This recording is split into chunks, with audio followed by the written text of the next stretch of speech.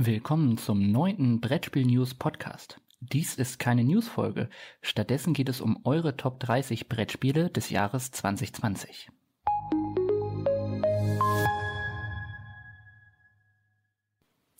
Ihr habt eure Top 30 des Jahres 2020 abgestimmt und wir haben gedacht, das können wir nicht so stehen lassen und wir wollen nochmal darüber reden. Und weil das wahrscheinlich zu langweilig wäre, wenn das ich alleine mache, habe ich mir jemanden dazu geholt und zwar Rebecca.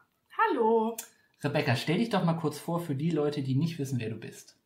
Ja, ähm, ich bin Rebecca, wie du es gerade schon so schön gesagt hast. Und ähm, ich bin äh, quasi Johannes plus eins, wenn es ums Thema Spiele geht. Ich bin die, mit der Johannes ähm, alles zusammenspielt, wenn es etwas gibt, was man zusammen ausprobieren sollte.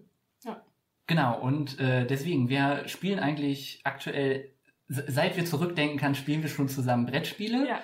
Äh, kleiner Disclaimer zum Beginn von den Top 30. Wir haben nicht alles gespielt, aber wir können natürlich trotzdem zu einigen, zu allen Spielen was sagen. Gut zwei Drittel haben wir gespielt. Genau, so gut zwei sagen. Drittel haben wir gespielt. Zu den anderen Spielen sagen wir dann vielleicht, warum wir es nicht gespielt haben oder ob wir es vielleicht noch spielen wollen, weil ihr es so weit oben gerankt habt. Oh ja. Du hast jetzt schon direkt gespoilert, ob wir vielleicht äh, welche von weiter oben nicht kennen, obwohl, und dass wir etwas sozusagen verpasst haben von ganz weit oben. Wir werden es gleich sehen. Wir fangen natürlich mit Platz 30 an und auf Platz 30 ist Paladine des Westfrankenreichs gelandet von S.J. McDonald und Shem Phillips. Das ist im Deutschen beim Schwerkraft Verlag erschienen. Es ist ein äh, Worker-Placement-Spiel für ein bis vier Spielerinnen und Spieler und eine Partie dauert so ungefähr 90 bis 120 Minuten. Und es ist letztes Jahr ähm, auf der Empfehlungsliste zum Kennerspiel des Jahres gelandet. Wir haben es einmal gespielt. Wir haben es einmal Wir gespielt. haben es einmal gespielt, ja. genau. Und danach hast du es auch relativ schnell auf die ja, Liste gepackt. Also für dich selber auch. Ich habe es noch nicht verkauft. Es ist, äh, wir können hier oben auf, auf einer, eines meiner Regale schauen und da liegt es oben drauf. Also ich würde schon sagen, das ist ein gutes Spiel. Ich weiß noch nicht, ob das vielleicht so ein Spiel für uns ist. Die Frage ist, ob es ähm, nicht sozusagen ein Spiel ist, wo wir zu viel vom Gleichen schon von haben. Weißt du, was ich meine? Also es ist natürlich ein, ein neues, innovatives ähm, Konzept gewesen mit diesen verschiedenen Würfeln, sozusagen, die man ja einsetzen muss, mit diesen verschiedenen kleinen... Muss man nicht diese komischen Leute auf dieses Ding setzen? Also ja, die Leute, ja, Ja. aber da sind keine Würfel drin. Ja, aber ich dachte, das wären diese Leute, die man auf diese einzelnen Plätze setzen genau, richtig. Genau, ja. Und zusammen ja mit diesen Karten, das hat ja so ein bisschen Genau, Deck, ja. Deck, Deckbuilding-Aspekt auf jeden Fall. Also ich würde, also ich würde jetzt nicht sagen, dass es zu viel vom Gleichen ist, um das erstmal vorwegzunehmen, aber ich würde auf jeden Fall sagen, es sticht aus diesen Worker-Placement-Spielen, die wir kennen und die wir vielleicht lieben, auch nicht so heraus. Das wollte ich damit eigentlich eher sagen. Es ist sozusagen, die Idee ist nicht so neu und überzeugend, dass man sagt so, wow, toll, cool, so. Ich finde es auf jeden Fall interessanter als Architekten des Westfrankenreichs. Ja, das stimmt. ist ja der Vorgänger, weil es auch nochmal deutlich komplexer ist. Also es ist ja schon, also Expertenspiel ist vielleicht too much, aber es ist auf jeden Fall ein gehobenes Kennerspiel. Hm, Was ich auf jeden Fall, glaube ich, merke, also The Miko oder The, The Maiko, ich weiß immer nicht, wie man ihn genau ausspricht, das ist der Illustrator Mhm. dieser ganzen Nordsee-Reihe und Westfrankenreich-Reihe und auch äh, Valerie hatte auch illustriert. Langsam habe ich mich, glaube ich, ein bisschen satt gesehen. Ah, an diesem Zeichenstil. Also Ja. der ist natürlich irgendwie sehr äh, äh, ikonisch oder so zumindest sehr, sehr einprägsam. Ja. Aber gerade bei diesem Westfrankreich und Nordsee-Saga, da finde ich, sticht er nicht so hinaus. Also bei Valeria finde ich das viel interessanter, weil es da nochmal deutlich bunter ist. Ja, vielleicht auch, weil er da sozusagen mehr Möglichkeiten hat, dadurch, dass er sozusagen ja immer Menschen, ich glaube, so Menschen ist auf jeden Fall sein, sein Go-To, also sein, was er gut kann, oder Kreaturen. Und äh, das ist natürlich bei diesem Paladine sozusagen, da hat er im Endeffekt nicht so diese Auswahl von Menschen sozusagen, die er macht, sondern dann sozusagen durch diese ganzen Plättchen, die man hat und ähnliches, ist er da vielleicht ein bisschen eingeschränkter gewesen. Und das fällt bei Valeria dann eher cooler, wenn man dann diese ganzen Kreaturen sozusagen sieht. Ja, voll auf jeden Fall. Ja, sonst zu Paladine, ich spiele relativ häufig auch Solo. Das hat einen Solo-Modus mit drin, mit einem Automa, der eigentlich auch super funktioniert. Aber ich bin eher so der Typ, der keinen Automa braucht, sondern mir wird auch so eine reine Punktejagd Mhm. reichen. Und man muss schon irgendwie relativ viel managen. Also kann natürlich sein, dass es bei häufigerem Spiel dann einfacher fällt, ist ja. und leichter fällt. Aber irgendwie, ich meine, es gibt so viele tolle Spiele insgesamt und da ist jetzt äh, Paladine des Westfrankreichs irgendwie nicht so ist ein bisschen hinten runtergefallen. Das meine ich ja Bisschen gerade, meinte ich halt gerade. Das ist runtergefallen, sozusagen bei dem, sozusagen bei den Worker Placement Spielen, die es halt gibt, dass es einfach nicht so heraussticht. Ja. Ja. Aber allgemein finde ich, war auch letztes Jahr ein sehr starkes Spielejahr und dann ist vielleicht Mhm. auch das äh, Findest jetzt. du? Ich würde sagen, dass 2020 ein relativ starkes Spielejahr war. Ich würde ja. sagen, das können wir doch nochmal aufs Ende dieser Diskussion äh, herauszögern, diese Frage, ob ich dem zustimmen würde. Uh, dann will ich ja nicht zu viel spoilern. Ja, ich glaube, sonst wäre es das erstmal zu Paladine des Westfrankenreichs. Ja, dann geh doch mal weiter zum nächsten. Genau, auf der 29 ist The Seventh Continent von Ludovic Rudi und Bruno Sauté gelandet. Das ist äh, letztes Jahr ähm, bei, auf Deutsch bei Pegasus erschienen. Und das ist ja ein kooperatives Abenteuerspiel. Das war ein super erfolgreicher Kickstarter. Und das können ein bis vier Spielerinnen und Spieler spielen. Ich habe mal auf Board Game Geek geguckt, da steht bei der Spiel, also wie lange es dauern kann, fünf bis tausend Minuten. Wie viele Stunden äh, sind das? ja, wie viele Stunden sind das? Ich habe ich hab nicht nachgerechnet. Also es geht halt darum, dass wir in so einer, ich glaube, so ein bisschen Steampunk-Welt ähm, die Welt entdecken und die Karten auslegen. Und da ist jetzt auch schon das allererste Spiel auf der Liste, ja. das wir nicht gespielt haben. Vielleicht auch genau aus dem Grund. ja, ich glaube schon, weil ähm, ich habe für mich selber gemerkt und äh, ähm, also ich habe für mich selber gemerkt, dass viele, dass so ausschweifende Kampagnenspiele, glaube ich, nicht unbedingt meins sind, wo man auch super viel Regeln nochmal lesen muss. Ja. Also es ist auch so bei vielen Dungeon Crawlern oder sowas, da hast du dann irgendwie so 30, 40, 50 Seiten gefühlt mit so kleinen Fitzelregeln und ähm, ja. Ich bin generell auch jemand, also ich bin nicht so der Miniaturenmensch, also das passt dann diese Dungeon Crawler Situation mit rein und ich glaube, das ist für mich auch etwas, was mich dann ja irgendwie so ein bisschen, weiß ich nicht, ich finde, es ist dann hat immer sozusagen diesen diesen Touch von es ist irgendwie sehr wertig und es ist ja auch cool eigentlich, wenn es so verschiedene Figuren gibt. Es ist dann so dieses, okay, wow, das ist jetzt das Spiel, weil es halt irgendwie das hat und das hat und das hat. Deswegen so, ja. Ja, also ich glaube, das ist bestimmt ein super interessantes Spiel, vielleicht nicht unbedingt für uns. Also ich, die deutsche Version ist ja ein bisschen abgespeckter als der Kickstarter, wo man wahrscheinlich ne, 1000 Minuten steht da drin, also kann man wahrscheinlich ein halbes Leben mitfüllen. Vielleicht wäre das nochmal irgendwas, wenn das irgendwo billig rumsteht, dann kann man sich nochmal aus angucken, aber. Das hat ja auch einen Grund, warum es dann auf dieser Liste gelandet ist, ne? Es ist ja nicht so, dass es jetzt irgendwie, wahrscheinlich ist es kein schlechtes Spiel, so, wenn ja. es auf dieser Liste steht. So, aber ich glaube, das ist auch nochmal so ein Punkt, weil du jetzt schon mehrfach äh, gesagt hast, sozusagen für uns sozusagen, vielleicht hm, wäre es nochmal ganz cool, so was, was spiel, also was spielen wir denn eigentlich gerne, du und ich? Äh, was spielen wir gerne? Ich bin äh, ein, ein, ein ganz großer Fan von Uwe Rosenberg Spielen. Allgemein, ich glaube, so Euro, Eurogames äh, sind voll meins. Ich spiele auch sehr gerne Puzzlespiele. Ja. Roll and Rides finde ich auch ganz nett. Genau. Also ich glaube halt, dass, also ich würde mich dem auf jeden Fall anschließen. Ich bin jetzt kein Uwe Rosenberg-Fan, Spoiler, Spoiler. Also da kannst du mir nicht hinterm Ofen hervorlocken, aber ich glaube, wir haben eine sehr ähnliche Art und Weise von Spielen an sich, die wir mögen. Also wenig dieses, ähm, also wir spielen wenig diese Spiele erstmal, die sehr kompetitiv sind. Wir spielen wenig diese Spiele oder die gefallen uns nicht so gerne, die, ähm, wo man irgendwie sozusagen, also diese Kampagnenspiele sind, finden wir eigentlich ganz cool, aber es ist dann trotzdem, wir fassen es halt nicht mehr wieder so an. Wir fassen Spiele oft nicht mehr als ein, zwei, dreimal irgendwie an, weil wir einfach keine Zeit dafür haben, weil so viel andere Sachen spielen möchten. Heißt so diese Kampagnenspiele, man oft nur sozusagen die Einsteiger-Kampagnenspiele nach, es ist so, ja, jetzt müssten wir weiterspielen, um die coolen Sachen zu spielen. Das fällt dann irgendwie hinten rüber bei uns auch ganz oft. Deswegen das, glaube ich, würde auch in diese Sache reinfallen, warum wir vielleicht das dann nicht so anfassen wollen, weil wir eben ähm, nicht die Zeit dafür haben und auch nicht diese Art von Spieler sind, die sagen, gut, wir machen jetzt ein ganzes Wochenende spielen wir das Spiel jetzt durch, wir machen die Kampagne oder machen irgendwie den Dungeon und den Dungeon und machen jetzt weiter und weiter, sondern einer Partie haben wir auch meistens genug und machen dann was anderes, haben eher die Abwechslung. Das glaube ich auch nochmal dazu zu sagen, warum das zum Beispiel nicht auf unserer Liste landen würde. So. Ja, ja, ich glaube, da ist Seven Continent auch ein Spiel, das sich wahrscheinlich erst lohnt, wenn man das richtig, richtig häufig ja. spielt. Also ich habe hier oben auch noch Tainted Grail äh, von Awaken Realms stehen, das müssen wir auch nochmal spielen. Also ich habe mal das äh, Tutorial gespielt. Das, das ist jetzt so ein bisschen ähnlich. Äh, müssen wir uns vielleicht mal rantrauen. Es kann ja auch sein, dass wir dann völlig geflasht sind, aber bis jetzt ist es tatsächlich eher so, dass wir dann lieber häufiger andere Titel spielen als zehnmal hintereinander das gleiche. Genau, also eher durchmischen sozusagen, genau. Ja, ja, aber jetzt kommen wir wieder zu, ein paar Spielen, Gott sei Dank, die wir alle kennen und vielleicht auch lieben. Genau, denn auf der 28 ist Cloud Age von Alexander Pfister und Arno Steinwender gelandet. Das ist letztes Jahr bei Nanox Games erschienen.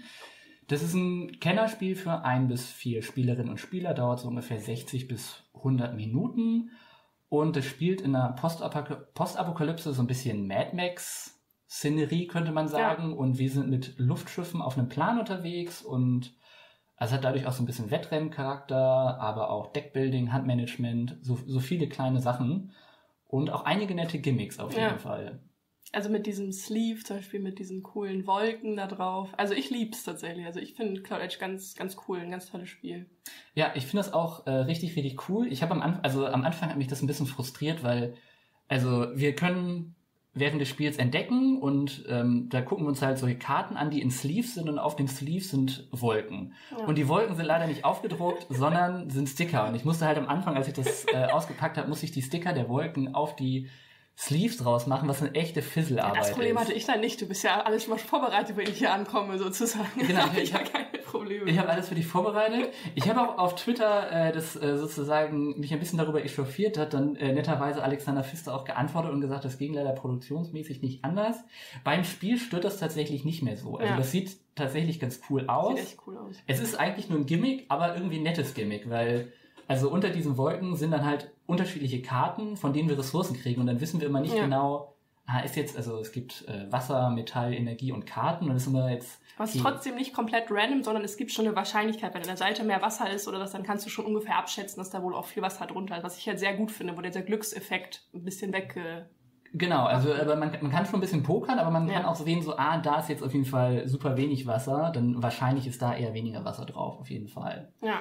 Was ich auch ganz äh, coole Idee finde, dass äh, wenn ich jetzt eine Aktion mache, dass du so eine kleine passive Aktion sozusagen auch mitmachen kannst. Ja. Das finde ich immer ganz äh, eine ganz coole Idee auf jeden Fall. Das ist dieses, ähm, das, wo wir vorhin drüber geredet haben, also dieser kompetitive Aspekt. Natürlich spielen wir immer gegeneinander. Wir spielen immer natürlich gegeneinander. Man spielt ja, also man spielt Koop, spielt ja immer irgendwie ums Gewinnen. Natürlich will man auch gewinnen, aber es ist trotzdem ähm, cool, dass man sozusagen eigentlich haben wir diesen Wett, durch den Wettkampf, Wettlaufcharakter im Endeffekt dieses Kompetitive hat und nicht mit, ich nehme dir das weg, ich nehme das weg, ich nehme mir das weg, sondern sozusagen dieses Wettlauf-Ding, das ist, was man irgendwie macht. Und das finde ich auch äh, eine schöne Sache. Und ich finde es auch schön, dass man sozusagen trotzdem auch mit dem anderen im, interagieren kann. Es ist ja auch nochmal auch Spiele, die auch auf dieser Liste stehen und man, jeder puzzelt so für sich alleine irgendwie hin und ähm, man macht mit dem anderen im Endeffekt nichts. Und das finde ich hier auch cool gelöst, dass man irgendwie zumindest eine kleine Interaktion immer, immer in jeder Runde irgendwie dabei hat. Ja, ja voll.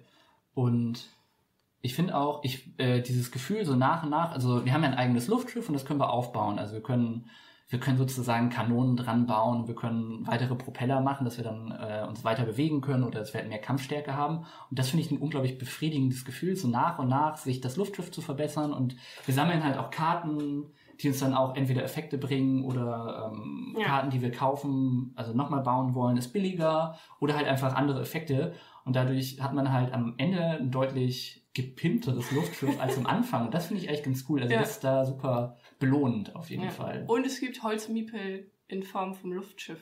Das stimmt. Aber das halt auch da cool. sind auch Sticker dabei. Ja, Muss das ist immer cool. Ich finde ich find immer Holzmiepel in Form von irgendwas immer gewonnen bei mir direkt. Ja, das, das, das auf äh, jeden Fall. Immer ja. gut, ja. Äh, was ich noch äh, sagen kann, das hast du noch nicht gemacht. Ich habe die Kampagne, die da drin ah, ist, mitgespielt. Ja. Also es ist so, es ist kein wirkliches Legacy-Spiel. Das sind so Plättchen, die man dann auf den Plan aufbaut und ist dann noch angezeigt, wo man die immer aufbaut. Und es gibt äh, einige Mechaniken, die dazukommen und ähm, neue Karten und sowas. Das ist jetzt nichts Großes, was irgendwie so outstanding ist und die Geschichte ist nett. Es ist, es ist, irgendwie, es ist eine ganz süße Geschichte. Es gibt eine Geschichte. Es gibt eine Geschichte, was auf jeden Fall positiv ist. Ähm, aber es ist auf jeden Fall eine ganz coole Kampagne. Es ist auf jeden Fall, es ist, eine, es ist eine Kampagne da, die überhaupt nicht hätte sein müssen, was ganz cool ist.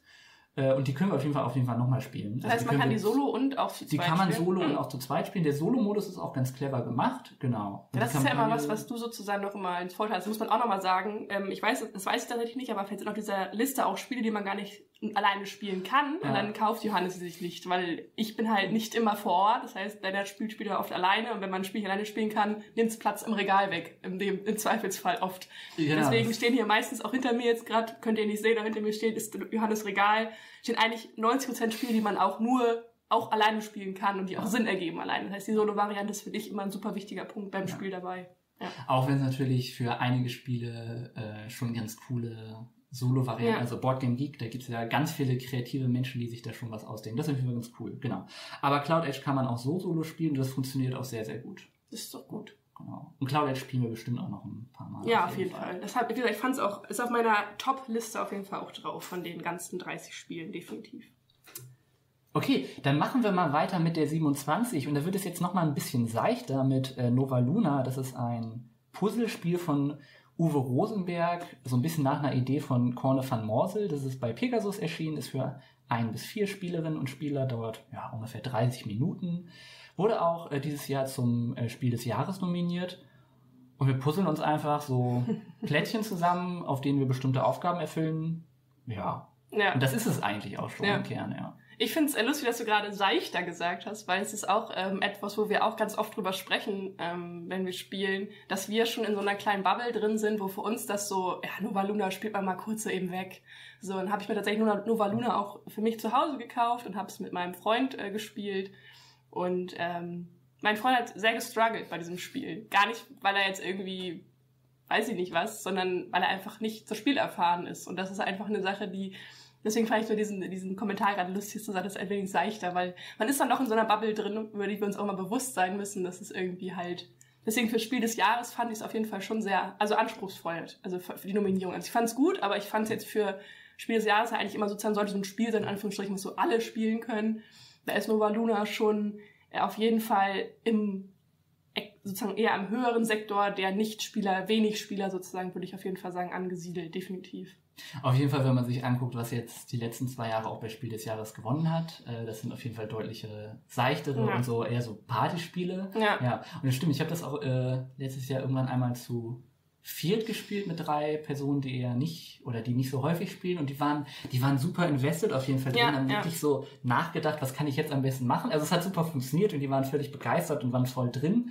Aber es stimmt wahrscheinlich für uns ist es so äh, Also, sehr erfahrene Spielerinnen und Ja. Spieler ist es wahrscheinlich einfacher und man spielt das eher so nebenbei, wenn das für, weiß ich nicht, Familien, die nicht so häufig spielen, ist es wahrscheinlich ein abendfüllendes Spiel vielleicht too much, aber es ist auf jeden Fall ein Spiel, wo man sich dann noch reindenken Genau, muss. wo man nicht einfach sagen kann, aber wir packen jetzt mal irgendwie Memory aus so ungefähr, sondern es ist halt schon eine, eine, eine Sache, wo man erstmal auch verstehen muss, worum es geht, wie es funktioniert, wo man auch Fehler machen kann, definitiv. Und das ähm, auf jeden Fall auch ein kleiner Frustrationsfaktor dabei sein kann, auf jeden Fall auch. Deswegen Ja, kann ich mir vorstellen, dass das deswegen nicht gewonnen hat.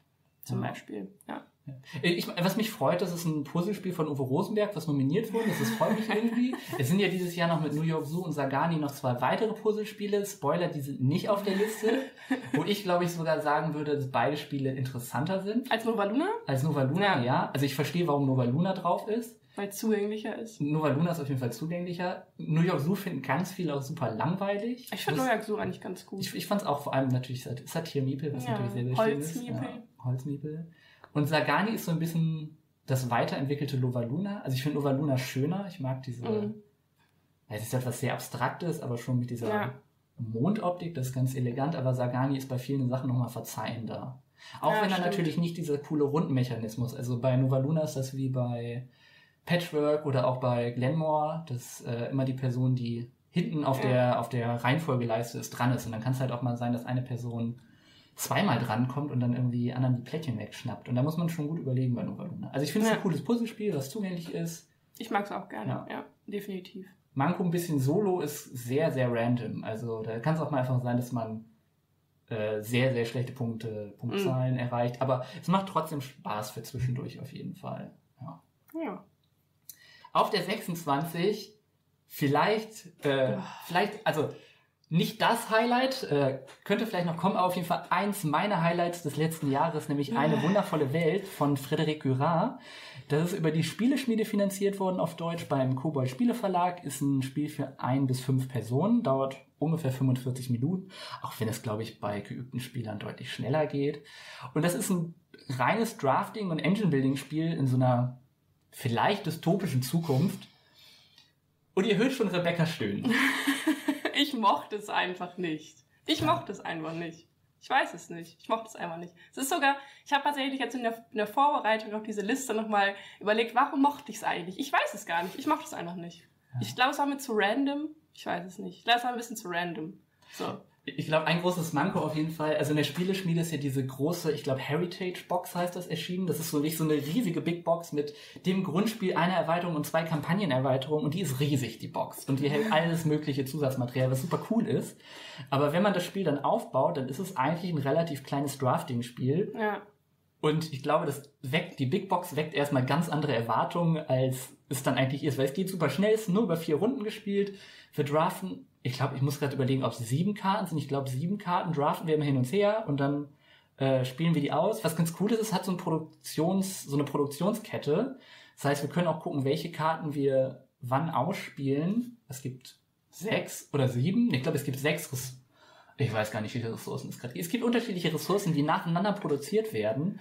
Und dann können wir halt auch, indem wir was in der, die erste oder zweite Ressource, die wir produzieren, ermöglicht uns dann eventuell, dass wir eine Karte äh, fertig ja. bauen sozusagen, die dann in der gleichen Runde wieder eine andere Ressource produziert. Und das ist auf jeden Fall ein super befriedigendes Gefühl.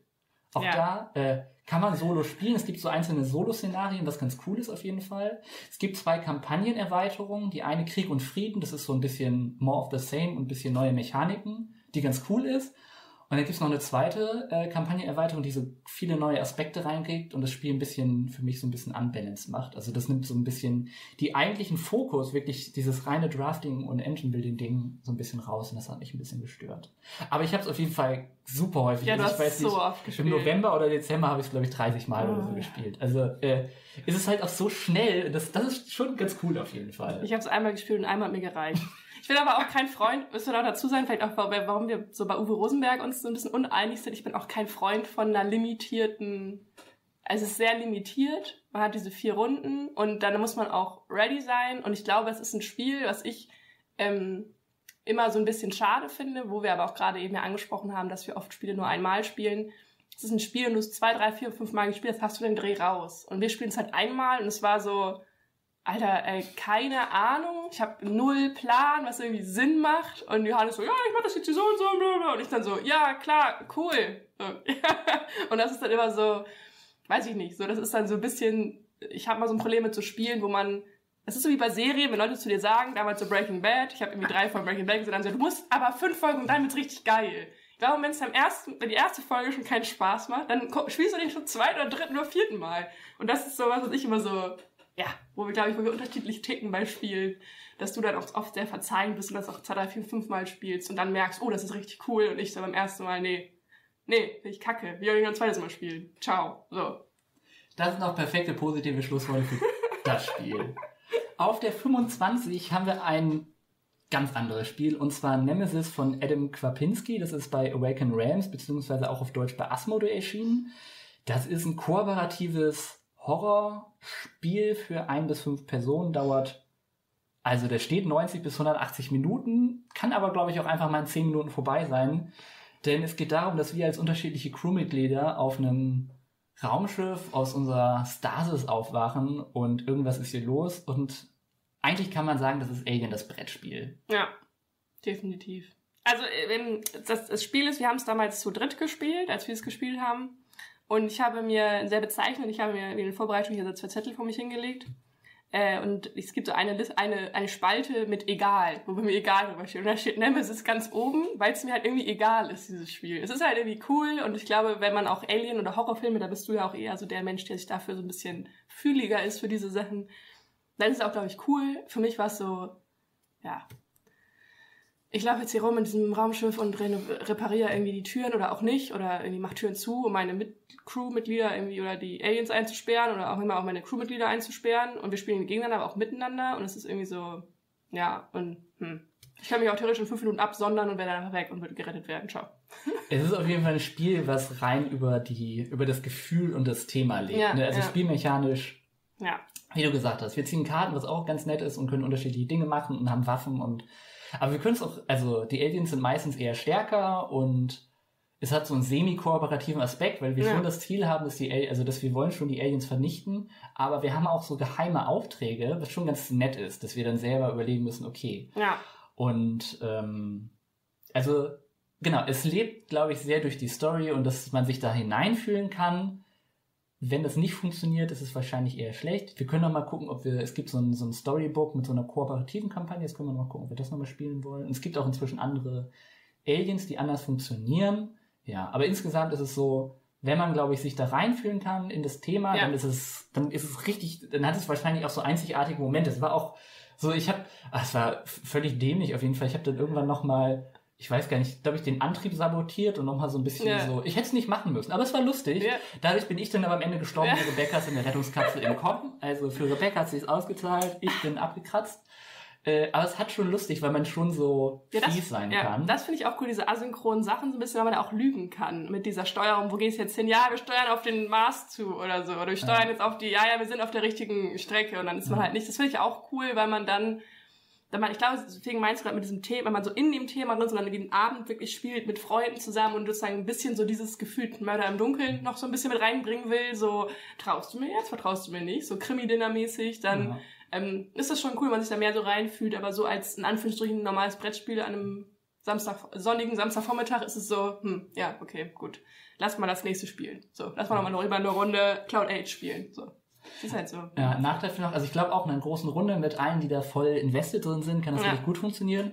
Nachteil kann aber auch sein, also die Aliens tauchen manchmal völlig random auf und wenn ja. irgendwie die fieseste große Alien Queen auftaucht, dann kann es auch sein, dass du relativ schnell tot bist und dann bist du halt auch raus. Also das hat so Play, ja. Play Elimination, was nicht cool ist, aber es wäre auch blöd, wenn es nicht drin wäre. Also das passt alles, es ich finde, es wird, es wird alles dem Thema untergeordnet und als das funktioniert es auf jeden Fall gut. Ja, ja das kann ja wirklich auch sein. Du kannst es ja dann irgendwie in den ersten 20 Minuten sterben und dann spielen ja noch 40 Minuten. Deswegen, es muss halt wirklich so in einer geselligen Runde vielleicht sein, wo man sich dann unterhält oder sowas, aber wenn man es als Spiel in Anführungsstrichen wirklich spielt, so nicht als Event macht, ist es so, ja, okay, dann kann ich jetzt auch aufstehen und gehen oder nicht. So, danke, ich bin jetzt tot. So. Das sind wieder so verzeihende und positive genau, Worte ja. von Rebecca. Ich Ach, weiß, ich bin immer der Positive von uns beiden. Aber stimmt gar nicht. Ich, obwohl ich hasse genauso viel wie du hast in den ja. Spielspielen. Also, ja. Wir gehen auch ganz, also aktuell nicht mehr, geht ja leider nicht mehr. Wir sind früher auch super häufig ins Kino gegangen und da sieht es dann eher andersrum aus, weil ich eher da der bin, der super negativ ist und Rebecca da deutlich verzeihender ist. Ich bin so verzeihend bei Filmen. Aber das, das ist ne anderes Thema. Tut jetzt nicht zur Sache. Kommen wir vielleicht später irgendwann mal irgendwann mal wieder drauf zurück. Wer weiß. Irgendwann. Auf Platz 24 ist Marco Polo 2 im Auftrag des Kahns von Dan Dan Daniele Tassini und Simone Luciani. Das ist bei Hans im Glück erschienen.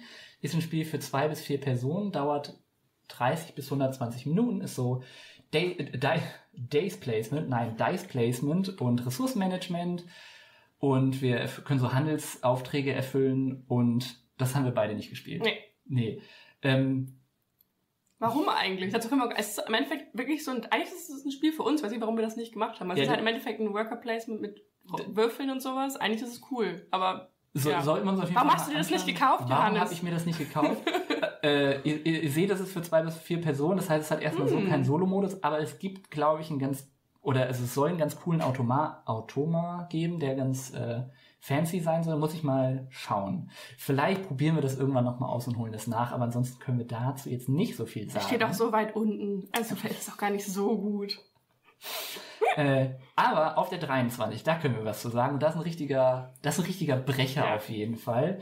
Riesenspiel. Riesiges Spiel, hochkomplex, nämlich On Mars von Vital Lacerda. Das ist äh, auf Deutsch bei Skellig Games erschienen. Das ist ein Spiel für ein bis vier Personen, dauert 90 bis 150 Minuten und ist ein sehr komplexes Worker Placement Spiel, wo wir uns nach und nach auf dem Mars aufbauen und das Material auf jeden Fall krasse Ding. Also riesige Box, super hochwertiges Material. Ah. Willst du die Story dazu erzählen, die Meta-Story, dass du es hattest, es weggegeben hast und es dann wieder hattest durch Zufall? Genau, aber äh, ich finde es eigentlich ganz, also Genau, das erste Mal hat nicht so krass gezündet. Ich finde es gut, dass ich es jetzt wieder im Regal habe. Ich werde es also ich habe es auch schon wieder gespielt und ich möchte es auch wieder spielen. Es ist, also es ist auf jeden Fall hochkomplex. Ich finde es gar nicht so unzugänglich für so ein Expert. Also es ist auf jeden Fall ein Expertenspiel, aber ich fand es, glaube ich, dadurch, dass das äh, thematisch sehr gut eingebunden ist, die unterschiedlichen Aktionen, was wir alles machen können und wir können so vom Mars hin und her reisen, Sonnen und Schattenseite, glaube ich. Das ist schon ganz cool und das Material ist halt auch echt äh, super krass. Aber das äh, Interessante, wo für mich On Mars auf jeden Fall jetzt nochmal interessanter wird, es soll dieses, ich glaube, dieses Jahr auf Kickstarter eine Koop-Erweiterung mit dem Titel hm. Surviving Mars kommen. Und da gibt's auch schon so coole bedruckte Meeples, die so Aliens zeigen. Und das kann, glaube ich, richtig cool sein. So ein richtig hochkomplexes Koop-Spiel mit dem Material ist, glaube ich, richtig nice. Also, mhm. ja, ich, ich weiß auch nicht, ob wir unbedingt die richtigen Leute für Lacerda-Spiele sind. Also, ich wollte gerade sagen, ich ja. wollte, mich gerade sagen, wir haben auch von ihm doch auch dieses andere Spiel gespielt mit Escape diesem Bank, Plan. Escape Plan, genau, mit diesem Bankraub. Und ja, ich glaube, ich bin einfach bei diesem Spiel, also bei diesem Autor irgendwie nicht so zugänglich. Es ist mir zu, also wo du hast so tolle, komplexe, also wenn du sagst so tolles Material und viel und groß, ich glaube, ich war bei, sowohl bei Escape als auch bei On Mars nachher von dem Spiel, dann dafür, dass es versprochen hat, ein bisschen enttäuscht. Also das Spiel an sich, man baut ein Riesending auf, es ist wirklich ein, es ist, also es kostet gefühlt 1000 Euro und ist irgendwie so ein Ding und denkst du, du baust auf und denkst dir so geil, es ist das beste Spiel aller Zeiten und dann ist es im Endeffekt dann so ein Spiel ein bisschen irgendwie doch wie jedes andere, nur ein bisschen so alle Lacerda-Fans schreien ja, auf. alle hassen mich. Mich hassen, weißt du, ich bin der Hassperson in diesem Podcast und du bist ja die gute Person in diesem Podcast. Aber äh, ich fand's, also ich war dann im Endeffekt ein bisschen fader Nachgeschmack für das, was es versprochen hat im Nachhinein. Das ist meine Meinung dazu. Ich habe sonst noch von Lacerda CO2 im Spielregal, das können wir gerne mal spielen. Was, ich ich finde es ganz cool, aber das ist auch so ein Spiel, da muss man sich reinfuchsen und das ist echt... Äh, ja, muss man, glaube ich, in ja, den so Regeln drin sein, um das, um das äh, zu spielen. Ich habe auf Kickstarter, bin ich mal gespannt, wenn das ankommt. Da wird jetzt letzt, Ende letzten Jahres Mercado de Lisboa, das ist ein Kennerspiel von Vital Lacerda. Das könnte vielleicht für uns äh, interessanter sein. Aber es gibt halt Spiele, die sind für Leute äh, interessanter und für andere Leute nicht. Genau.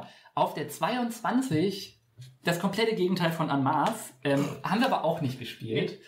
Ähm, Surprise, es gibt keine Partys. Die man, genau. Wir sind leider nur zu zweit. Es, es ist auch nicht mehr das, das Spiel für die aktuelle Zeit, glaube ich. Ähm, das wird bestimmt irgendwann nochmal wieder rausgeholt von anderen Leuten. Und zwar Pictures von Daniela und Christian Stör. Das ist beim PD-Verlag erschienen. Das ist ein Familienpartyspiel für drei bis fünf Personen. Dauert ungefähr 30 Minuten. Ist auch äh, letztes Jahr Spiel des Jahres geworden.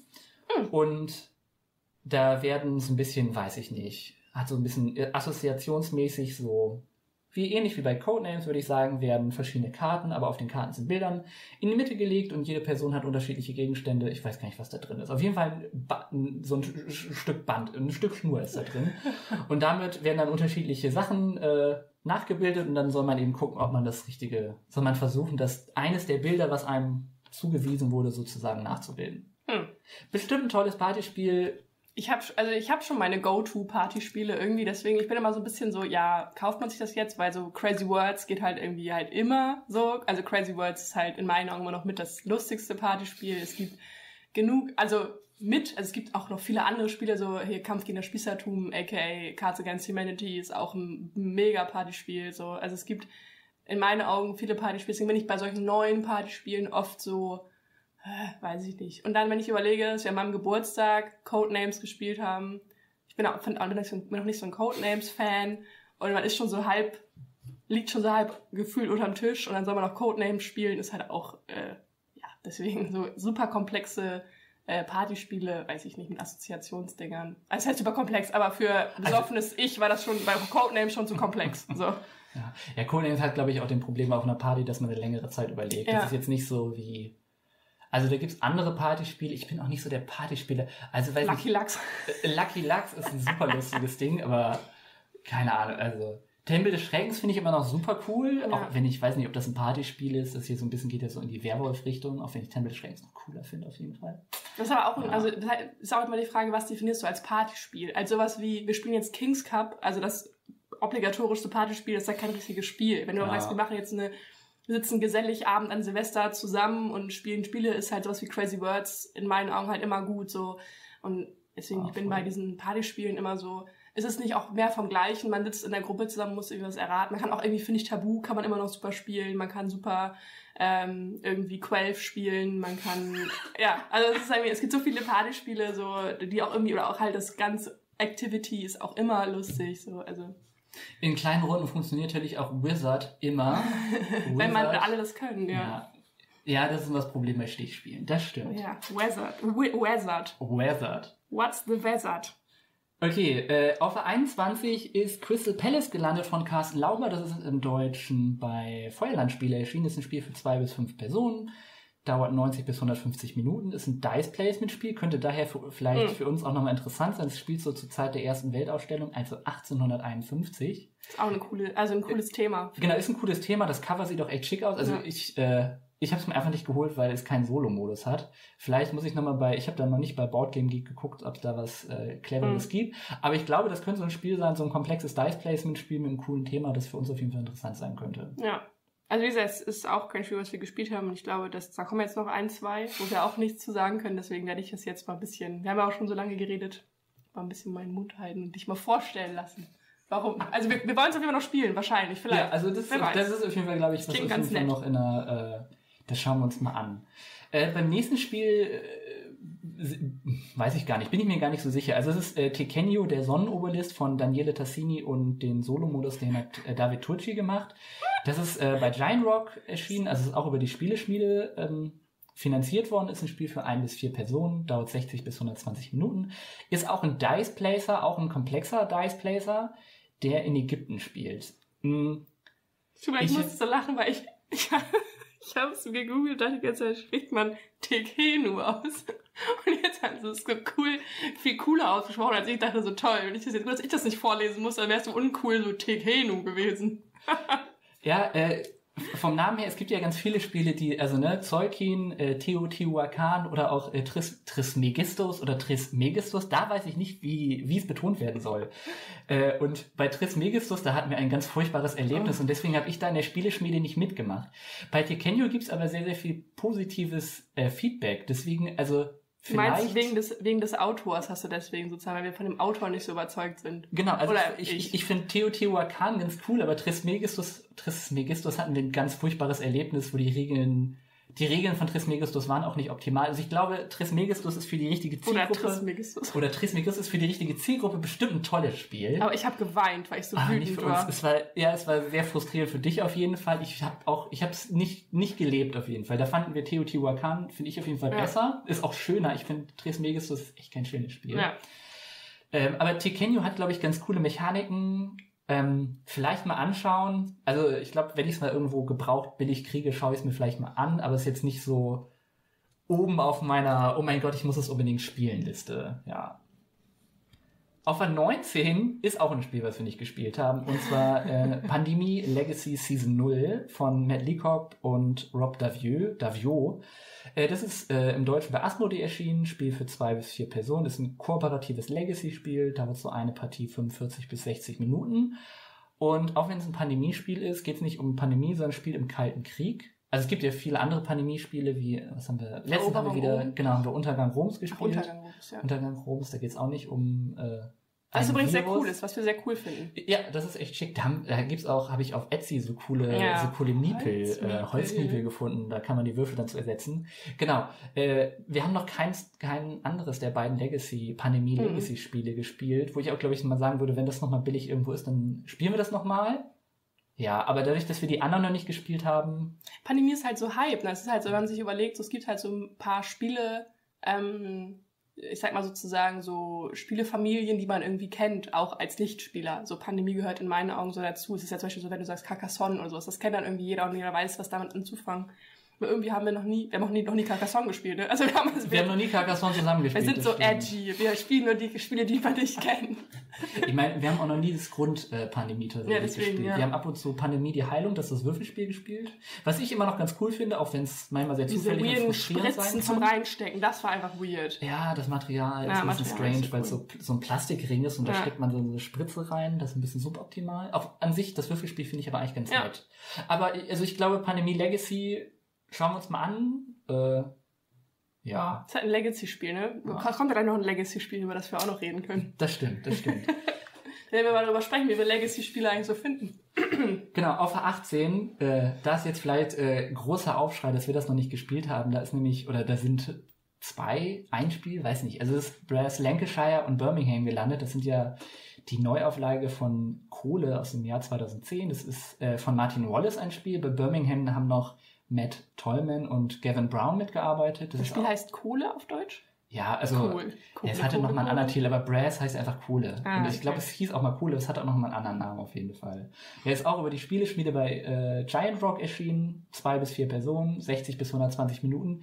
Ist so ein sehr komplexes, kompetitives Wirtschaftsspiel. Uh, das klingt total nach uns, nicht? Genau, ich glaube, durch, durch diesen sehr kompetitiven Faktor hm, hat es mich nicht so angesprochen. Optisch sieht das schon sehr schick aus. Es gab auch im Rahmen der Kickstarter-Kampagne und auch bei in der Spieleschmiede in limitierter Zahl gab es so Poker-Chips, die sozusagen Mm. das Geld oder so ersetzen. Das war schon ziemlich state of the art, aber weiß ich nicht. Also ich glaube, da es auch sagen würde, wahrscheinlich ein wirklich, wirklich sehr gutes Spiel ist bei Board Game Geek auch irgendwie super hoch gelistet auf jeden Fall, wahrscheinlich zu Recht.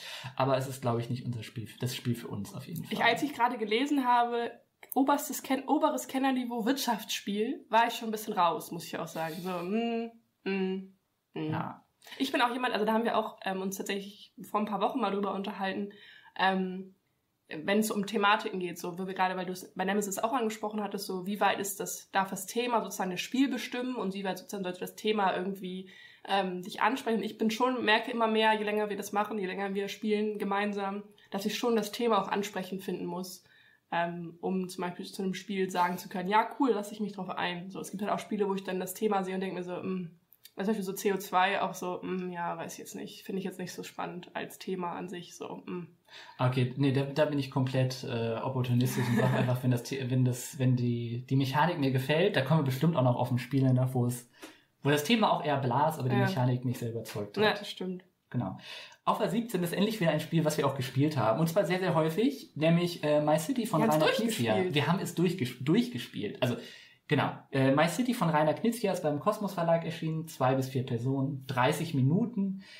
Ist ein Familien-Legacy-Spiel. Wir puzzeln uns eine Stadt zusammen. Ja, und das war es eigentlich auch. Ja. Und man beklebt einen, den Spielplan von Runde zu Runde mehr. Man hat einen, man schreibt auf den Spielplan auch drauf. Genau. Ja. Ich glaube 15 Szenarien, 14, ich weiß gar nicht Weiß mehr, wie viele Szenarien. Auf jeden Fall waren es, glaube ich, sieben oder acht Briefumschläge mit. Also, ne, Legacy-Spiel, Familien, also, also es hat, glaube ich, funktioniert als familienfreundliches Legacy-Spiel, weil die Regeln sehr, sehr easy sind. Ja. Also es wird ein bisschen komplexer mit, äh, mit der Zeit. Also man lernt, man, man wächst quasi mit dem Spiel. Also ich würde sagen, von der Komplexität ist es nicht so, dass man jetzt denkt, so, oh wow, sondern man wird ja sozusagen von Runde zu Runde auch getragen, definitiv, ja. Ja. Also es hat zumindest dieses Versprechen eines familienfreundliches und sehr zugänglichen Legacy-Spiels erfüllt. Als Spiel an sich, oh, ich bin überhaupt kein Fan davon. Also ich, ich mag super gerne Puzzlespiele und auch äh, so, so Stadtbauspiele, keine Ahnung. Also City Skylines finde ich ganz cool. Ich mag Between Two Cities super gerne. Mm. My City hat mich überhaupt nicht erzeugt. Ich fand es sehr, sehr frustrierend während des Spiels. Mhm. Also wir haben das auch relativ zügig durchgespielt. Wir haben, glaube ich, drei oder vier Nachmittage halt das relativ schnell durchgespielt. Und Rebecca hat eine sehr lange Zeit geführt.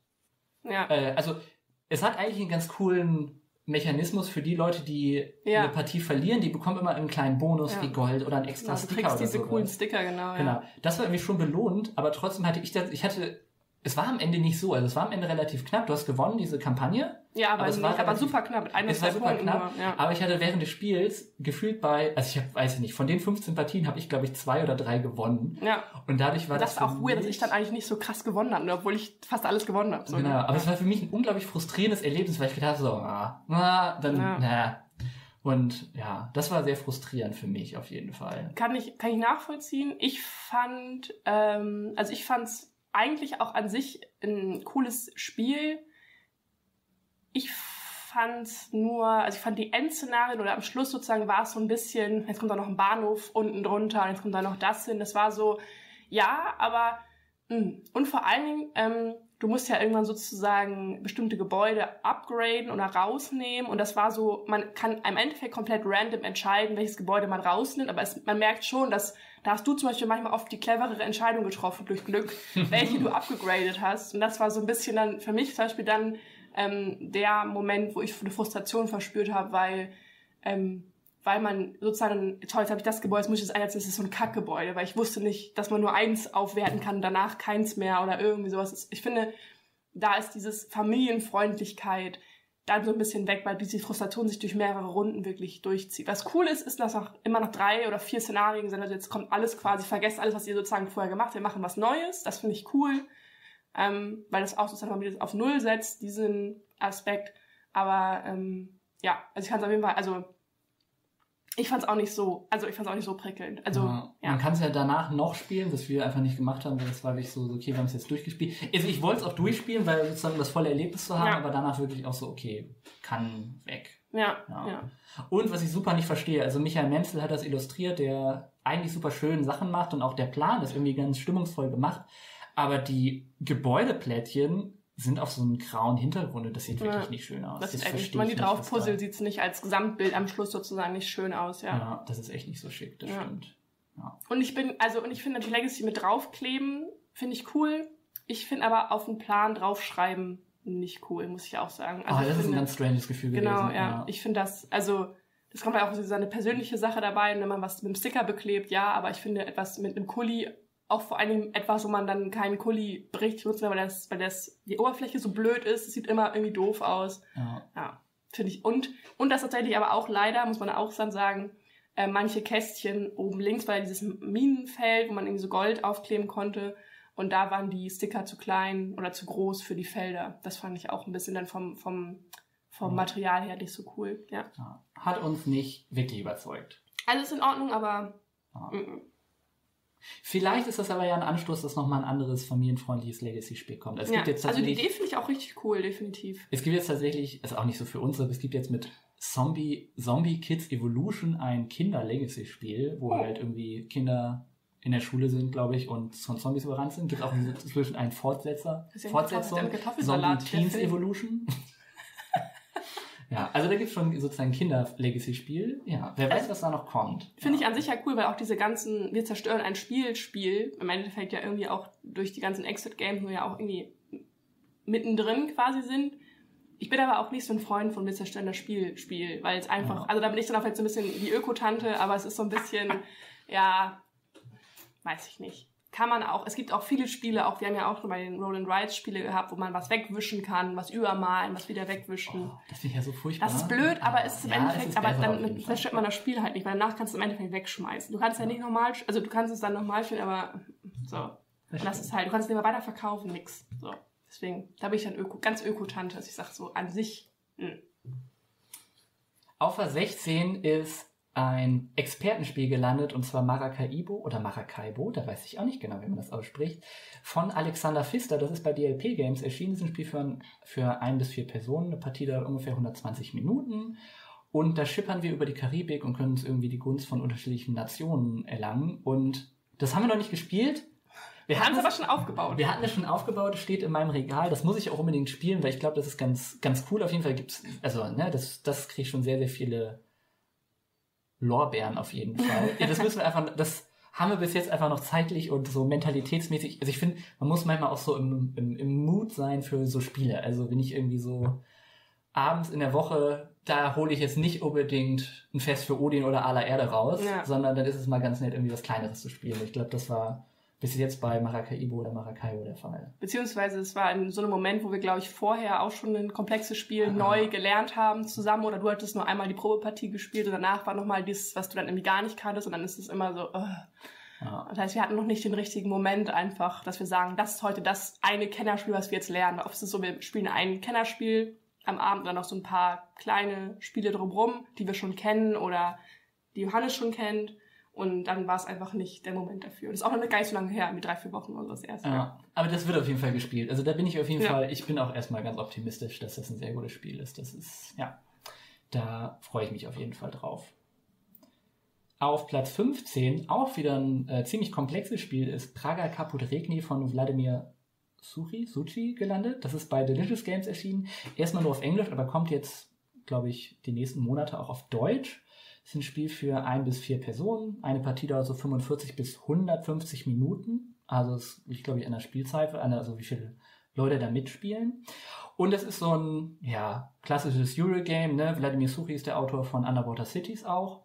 Und da bauen wir im Auftrag des damaligen Königs, ich weiß nicht genau, wann es spielt gerade, das hat 17, natürlich nicht 1700 aufgeschrieben. irgendwas oder so, ja. Auf jeden Fall, wir bauen die Stadt Prag wieder auf mit Eiern. Mit Eiern. Es, wir, wir können an der, an der Prager Brücke bauen und da wurde damals wohl scheinbar tatsächlich, ich weiß nicht, ob das historisch belegt ist, aber angeblich wurden, wurden statt hier Mörtel, wurden Eier sozusagen als, als, als, wie sagt man, Eierschalen als als Kit. Fest, Kit. als Kit für, Ja. den, für, die, für die Brücke benutzt, genau. Ja. Und das haben wir gespielt. Ja, das haben wir gespielt. Und es kommen Eier drin vor, was halt schon hart lustig ist, weil das ist so ein, ich frage mich immer über ungewöhnliche Spielressourcen erstmal, weil man oft dann doch die gleichen, sogar die gleichen geschnitzten Holzdinger hat, die alle gleich aussehen.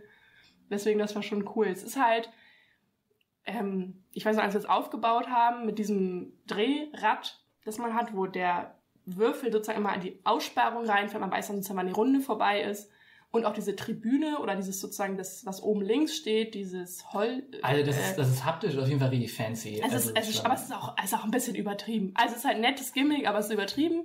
ja. Aber an sich ist es, ähm, finde ich, auch ein sehr gutes Spiel. Ich, wir beide, glaube ich, mögen Spiele, wo man viel Möglichkeiten hat. Und ich finde, das ist auch ein Spiel, zum Beispiel im Verhältnis zu Uwe Rosenberg spielt man auch tausend Möglichkeiten, aber dann nur drei Züge und man irgendwie komplett planen muss, was man jetzt in die nächsten 48 Aktionen vorausplanen, aber nur genau diese Züge hat.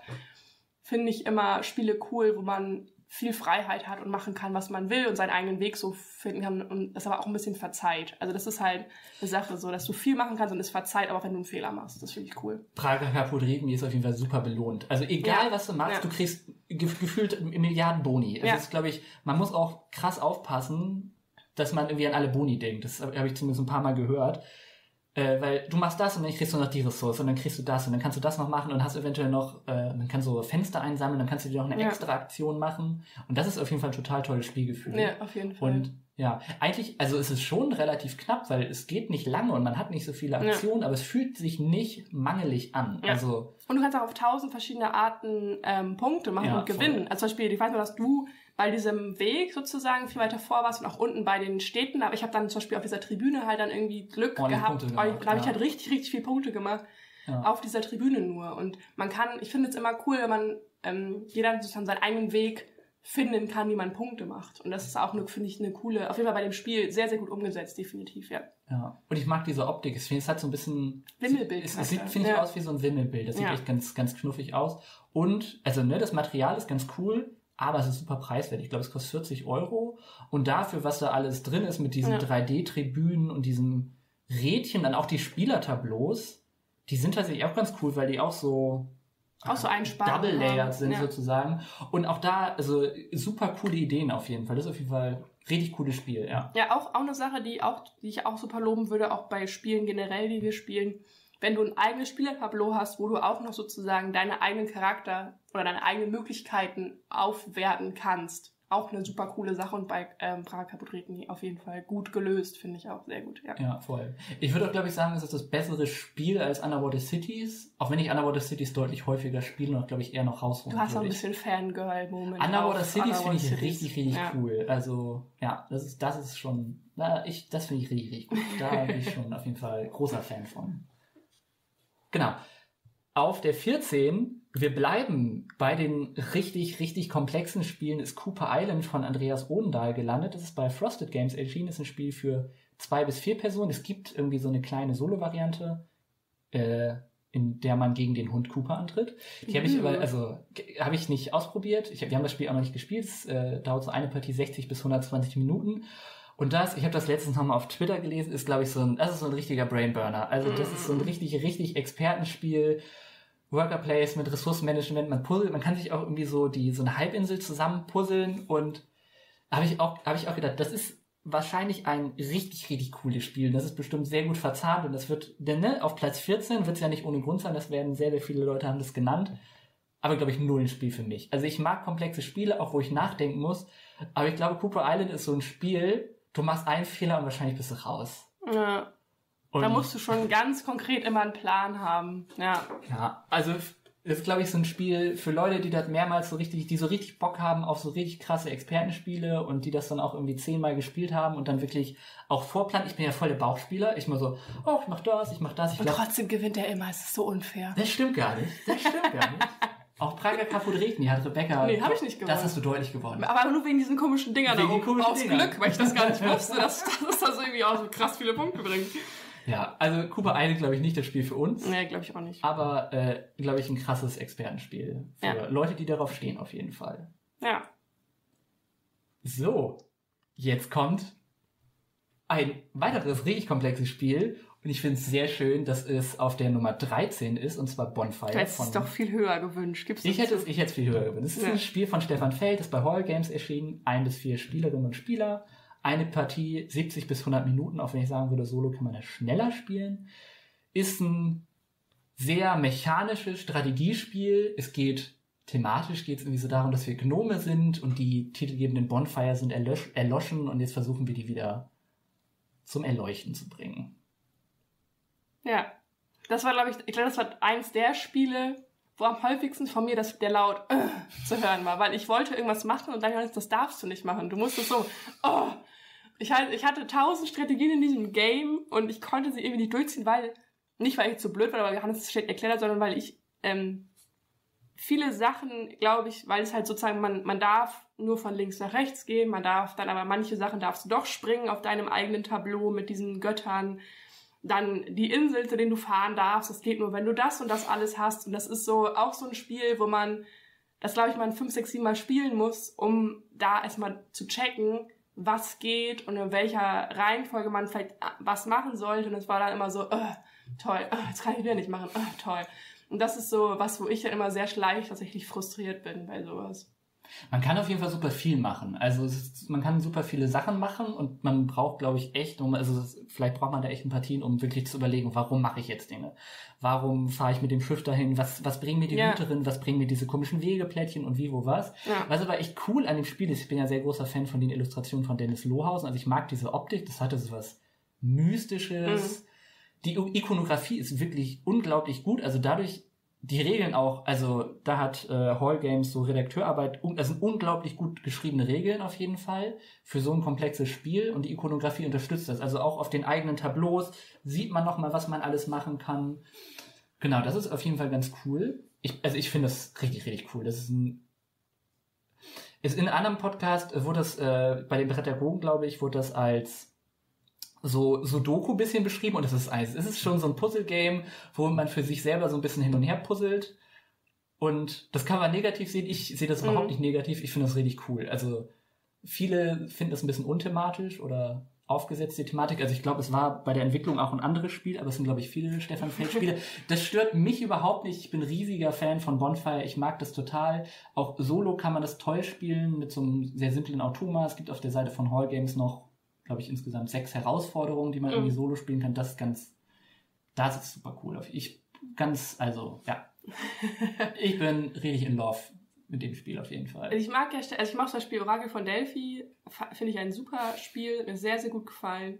Aber Bonfire hat mich einfach nicht abgeholt. Ich glaube, es war halt, also es gibt viele Spiele, äh, die ich auch himmelhoch verliere oder wo ich dann überhaupt keinen Schnall habe, was ich machen soll. Bestes Beispiel, oder aktuellstes Beispiel, glaube ich, Pharaon zum Beispiel, wo, ähm, wo ich, oder jetzt, was haben wir letztes Mal noch gespielt, ähm, ach, Namen vergessen, ist auch nicht so re relevant, wir gehen bei Pharaon aus, ähm, wo ich auch keinen Schnall hatte, was ich machen soll und deswegen auch, auch so verloren habe. Aber das war bei Bonfire, war dieser Wiederspielreiz für mich in dem Effekt nicht so da. Es war nicht so dieses, ach, ich habe jetzt beim ersten Mal ähm, habe ich jetzt irgendwie, wusste nicht, was ich machen sollte, sondern es war dann nicht, und es war nicht dieses dabei, aber ich probiere es nochmal, ich will's, ich will mich verbessern, ich will es nochmal machen, sondern es war so, äh, nee, mm, nee, weiß ich nicht, nee. Es war so eine, es war halt so ein kleiner Mechanismus dabei von einem, von einem, von einer Frustration und das finde ich immer blöd, wenn ein Spiel dich frustriert. So, da habe ich dann auch keine Lust mehr, das weiterzuspielen, einfach weil es so viele gute Spiele gibt. Warum soll ich mich frustrieren lassen, so. Ja. Diesmal möchte ich es aber jetzt hier nicht äh, Nein, negativ. Ich bin ein riesiger Fan von dem Spiel. Spielt das. Zweite Auflage ist jetzt, glaube ich, auch wieder raus. Es ist auch wieder Ja, spielt das auf jeden Fall. Das ist aber nicht mein Spiel. Es ist nicht, nicht mein Spiel. Aber ich, ist, ich erkenne an, dass es ein gutes Spiel ist, aber es ist nicht mein Spiel. Und ich find, finde auch, dass du auf jeden Fall das empfehlen solltest, weil es ist ein gutes Spiel, aber es ist einfach nicht mein Spiel. Ja. Aber das Schöne ist, auf Platz 12 ist ein Spiel, was wir beide sehr toll finden. Und wir, genau. Es ist die Insel der Katzen von Frank West, ist im Deutschen bei Skellig Games erschienen für ein bis vier Spielerinnen und Spieler. Es gibt eine Erweiterung für fünf bis sechs Personen. 60 bis 90 Minuten, auch wenn das, glaube ich, erfahrene Spielerinnen auch schneller auf jeden also Fall bei all, fast allen Spielen. Jetzt wurde, ich höre zum ersten Mal teilweise diese Minutenangabe und denke mir so, also wir spielen die Spiele, also es, gibt kaum Spiele, die wir über eine Stunde spielen, also kaum. Aber wir sind ja auch nicht so die, die, die, die Grübel-Leute. Nee, ja, wir spielen beide aus dem Bauch raus. Ja. ja. Genau, das ist ein Puzzlespiel, aber nicht so ein äh, simples, es gibt ja viele simple Puzzlespiele, Nova Luna My City, das ist, würde ich sagen, eher so ein bisschen komplexer mhm, durch ja. den Drafting-Aspekt. Und wir haben ein Boot, die auch super schön gestaltet sind und da puzzeln wir uns Katzen, denn wir wollen von der Insel der Katzen möglichst viele Katzen retten, bis der böse Lord Harrer, ich weiß seinen Namen nicht mehr. Ja, der böse Lord. Der böse Lord äh, sich die Katzen schnappt. Ja. Bei mir jetzt schon gewonnen als einfach, weil einfach Katzen. Ich liebe Katzen. Und ich finde es ähm, auch äh, ein sehr schönes Spiel, was ich, ich finde es eine schöne Idee mit diesem Puzzle und so viel Katzen. Ich finde es sehr thematisch, so viele Katzen haben halt Platz sozusagen auf dem Boot und so viel kann man mitnehmen. Und die dürfen natürlich nicht sich, sondern man muss die irgendwie zusammen in ihre Gruppen lassen. So. Ich finde es sehr, sehr schön. Also sehr thematisch und auch ein sehr schönes Puzzlespiel. Du liebst ja Puzzlespiele. Und ähm, bei Insel der Katzen kann ich definitiv deine Leidenschaft teilen mit dem, mit dem Genre sozusagen. Ja, ja und es wird halt dadurch nochmal interessant, dass man sich, äh, be bevor es in äh, der Runde ans Puzzeln geht, draften wir uns ja so Karten und ja. mit den Karten können wir uns nochmal irgendwie Schätze sammeln oder halt kriegen wir erst Körbe, mit denen wir dann die Katzen sammeln können, aber auch so Lektionen, durch die wir eigentlich erst richtig gewährt, also wir kriegen auch äh, Punkte für eine bestimmte Anzahl an gleich vielen Katzen und sowas, aber vor allem durch so Lektionen, die dann so bestimmte Aufträge sozusagen sind, bekommen wir nochmal ordentlich Punkte und dadurch gewinnt es auf jeden Fall nochmal extrem. Es gibt auch eine Familienspielvariante, die wir aber hm. nicht gespielt haben. Ja. ja. Ist auf jeden Fall richtig cooles, komplexeres Puzzlespiel. So, vielleicht so die Lücke zwischen simplen Sachen wie Nova Luna und komplexes Puzzlespiel aktuell wahrscheinlich so ein Fest für Odin. Ja. Ist so Insel der Katzen so ein bisschen dazwischen. Auch wenn ich, ist so ein bisschen unterm Radar, The Grand Carnival, das ist auch letztes Jahr ja. rausgekommen, das war ein Kickstarter, finde ich nochmal cooler. Oder Magnificent, auch richtig cool. Stimmt, Magnificent hat auch einen Puzzle, auch Puzzle, Puzzle Aspekt. Genau, aber ja. ist nicht ein reines Puzzle-Ding, aber es hat auf jeden Fall auch Puzzle-Aspekt. Ja. Aber es ist ein Spiel, das wir beide mögen. Ja, das Katzen. stimmt. Das stimmt. Auf Platz 11, da sind wir uns auch einig, glaube ich. Ja. Da ist äh, Paleo gelandet von Peter Rustemeyer. Das ist äh, bei Hans im Glück erschienen für ein bis vier Personen. Eine Partie dauert 45 bis 60 Minuten oder schneller, wenn man stirbt. wenn man richtig versagt. Und das ist ein kooperatives Abenteuerspiel in der Steinzeit. Ja.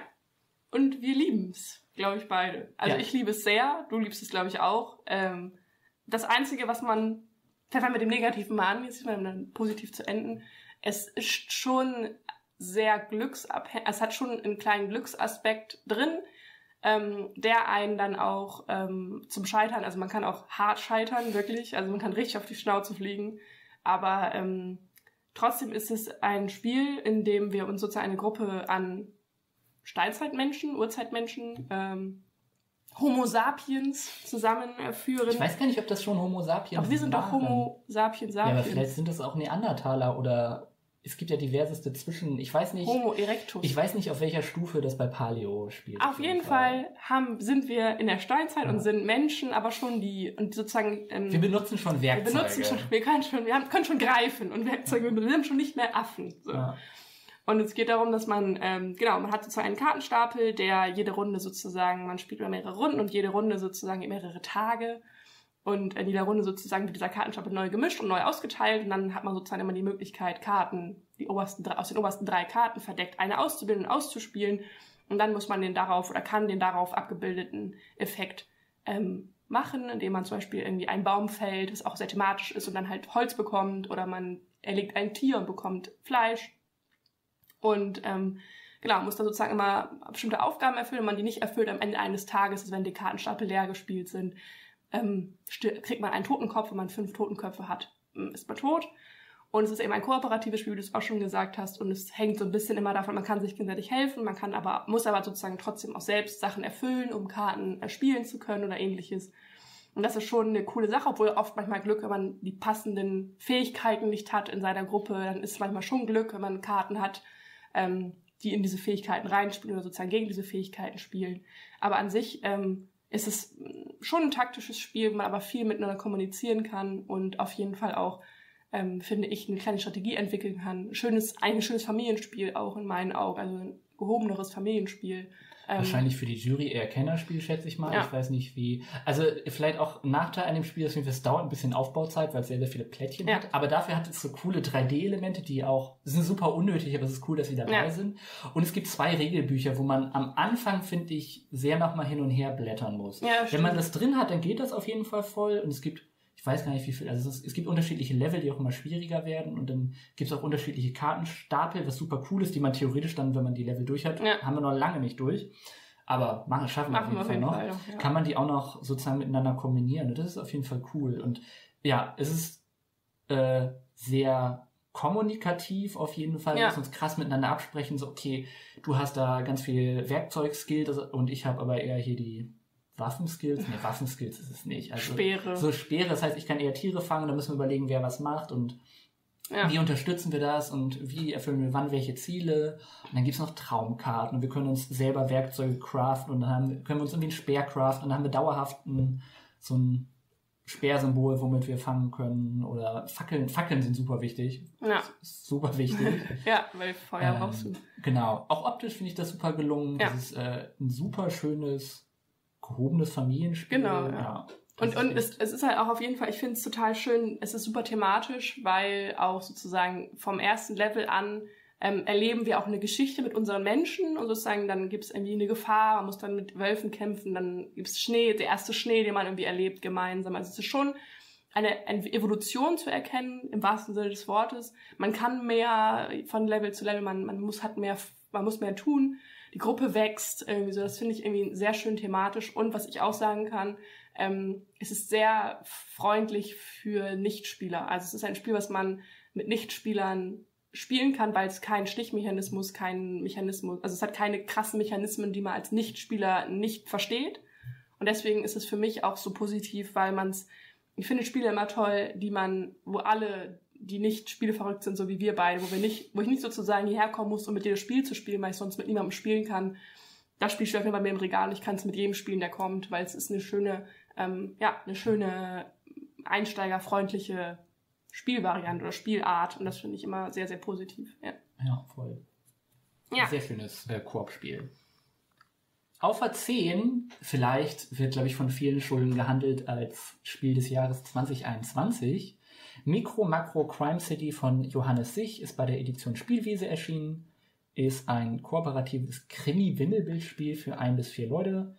Eine Partie dauert 15 bis 45 Minuten, auch wenn ich, glaube ich, sagen würde, also äh, was, also als, was definierst du als Partie? Ja, genau. Also, ne, Krimi-Wimmelbildspiel, es gibt so einen riesigen Spielplan, wo die Spielerinnen und Spieler unterschiedliche Fälle lösen müssen. Und ich habe es noch nicht gespielt, ich habe nur diesen, diesen Promo-Fall, den es auf der Website gibt, und den habe ich, glaube ich, in fünf, sechs Minuten gelöst. Das ist das Aber, einzige Spiel auf der Liste, was ich gespielt habe und du nicht. Das ist auch so verrückt. Und ähm, ja, es ist ähm, wie du es gerade schon sagtest, man hat eine riesige Karte und jeder hängt über diesem Tisch. Es ist, wenn man es mit mehreren Leuten spielt, jeder hängt über diesem Tisch und äh, man sucht Figürchen und versucht halt Krimifälle aufzuklären, indem man ist eine riesige Stadt abgebildet und man versucht sozusagen dem Täter durch die Stadt zu folgen und anhand seiner verschiedenen Stationen, wo er stehen bleibt oder wo er aussteigt oder etwas passiert, etwas, etwas zu essen holt. Es sind ganz viele Fälle mit Essen, ganz viele Essensstudie, ich weiß nicht, wie das herkommt, weil hat ähm, Johannes sich irgendwie so eine sehr Bock auf Essen. Und ähm, man sozusagen versucht dann eben auf dieser Karte diesen Täter nachzuverfolgen, die Tat halt aufzuklären. Und ähm, ja, für erwachsene Leute ist es fast schon unterfordernd. Es ist einfach eine coole Sache, dass man über diesen Plan halt guckt und auf diesem Plan so viel entdecken kann. Aber vom Spielmechanischen ist es für Erwachsene sehr unterkomplex. Mit Kindern ist es, glaube ich, ziemlich cool, weil Kinder halt viel entdecken können. Man kann es vielleicht sogar an die, an die Wand irgendwo hängen auf Kinderaugenhöhe und dann kann man dann auch besser irgendwie dran gucken, dran langgehen. Auch wenn ja. da gesagt worden ist, ich weiß ja nicht, wie die Fälle sind, aber einige sind vielleicht ein bisschen morbide. Also, oder, ja, oder auf jeden Fall. ich glaube, irgendwann geht es auch mal äh, zu einer Prostituierten oder sowas. Und das ist die Frage, hat man Lust, das mit Kindern zu erklären? Ja, also, gut, ja. Ähm, ähm, das ist ja auch Mord und Totschlag. Also im Endeffekt, es geht, also es gibt ja. einen Fall, wo ein anderer, also jemand ich weiß nicht, wie du spoilern willst oder, oder also beziehungsweise ich versuche mal spoilerfrei, aber es gibt auch Fälle, wo ähm, der Täter aus sehr niederen Beweggründen, okay, sagen wir es mal so, äh, seinen okay, sein Opfer ja. umbringt und äh, einfach nur gefühlt, weil er einen schlechten Tag hat, dann jemanden umlegt oder so. Und das ist halt so schon, also es ist halt sehr mobil, es ist dadurch aber eben auch sehr over the top. Also ja, also wenn man sagt mit der Prostituierten. Die, die, die Optik ist ja auch sehr niedlich. Also es ja. ist ja sehr abstrakt durch diese alles Tiere, schwarz-weiße Comic-Tieroptik. Genau, ja, ja. alles wie Tierköpfe oder Fantasieköpfe, das sind keine Menschenköpfe in dem Sinne. Ja. Aber der Verlag ist sich dessen auch bewusst. Also es wurde schon zwei Datei angekündigt, der dieses Jahr erscheinen soll. Und ich glaube, so wie das rüberkam, sind die sich auch bewusst, dass sie eventuell, ich weiß nicht, ob es extra für Kinder oder es soll zumindest zugänglicher sein für Kinder auf jeden Fall ja, cooles Krimispiel insgesamt, oder? Definitiv. Ähm, ich würde nur noch mal äh, darauf, du es gerade äh, vorhin sagtest mit diesen ähm, 15 bis 45 Minuten, glaube ich, ne? Ja. Also es ist halt auf jeden Fall ein cooles Krimispiel, aber ein Fall dauert halt, wenn du sehr gewieft bist und irgendwie mit mehreren Leuten spielst, dann hast du den in zwei Minuten, zwei, drei Minuten. Das heißt, das sind zehn Kampagnen, glaube ich, oder zehn Fälle. Das heißt, du spielst das ganze Spiel als Erwachsener eine halbe Stunde durch.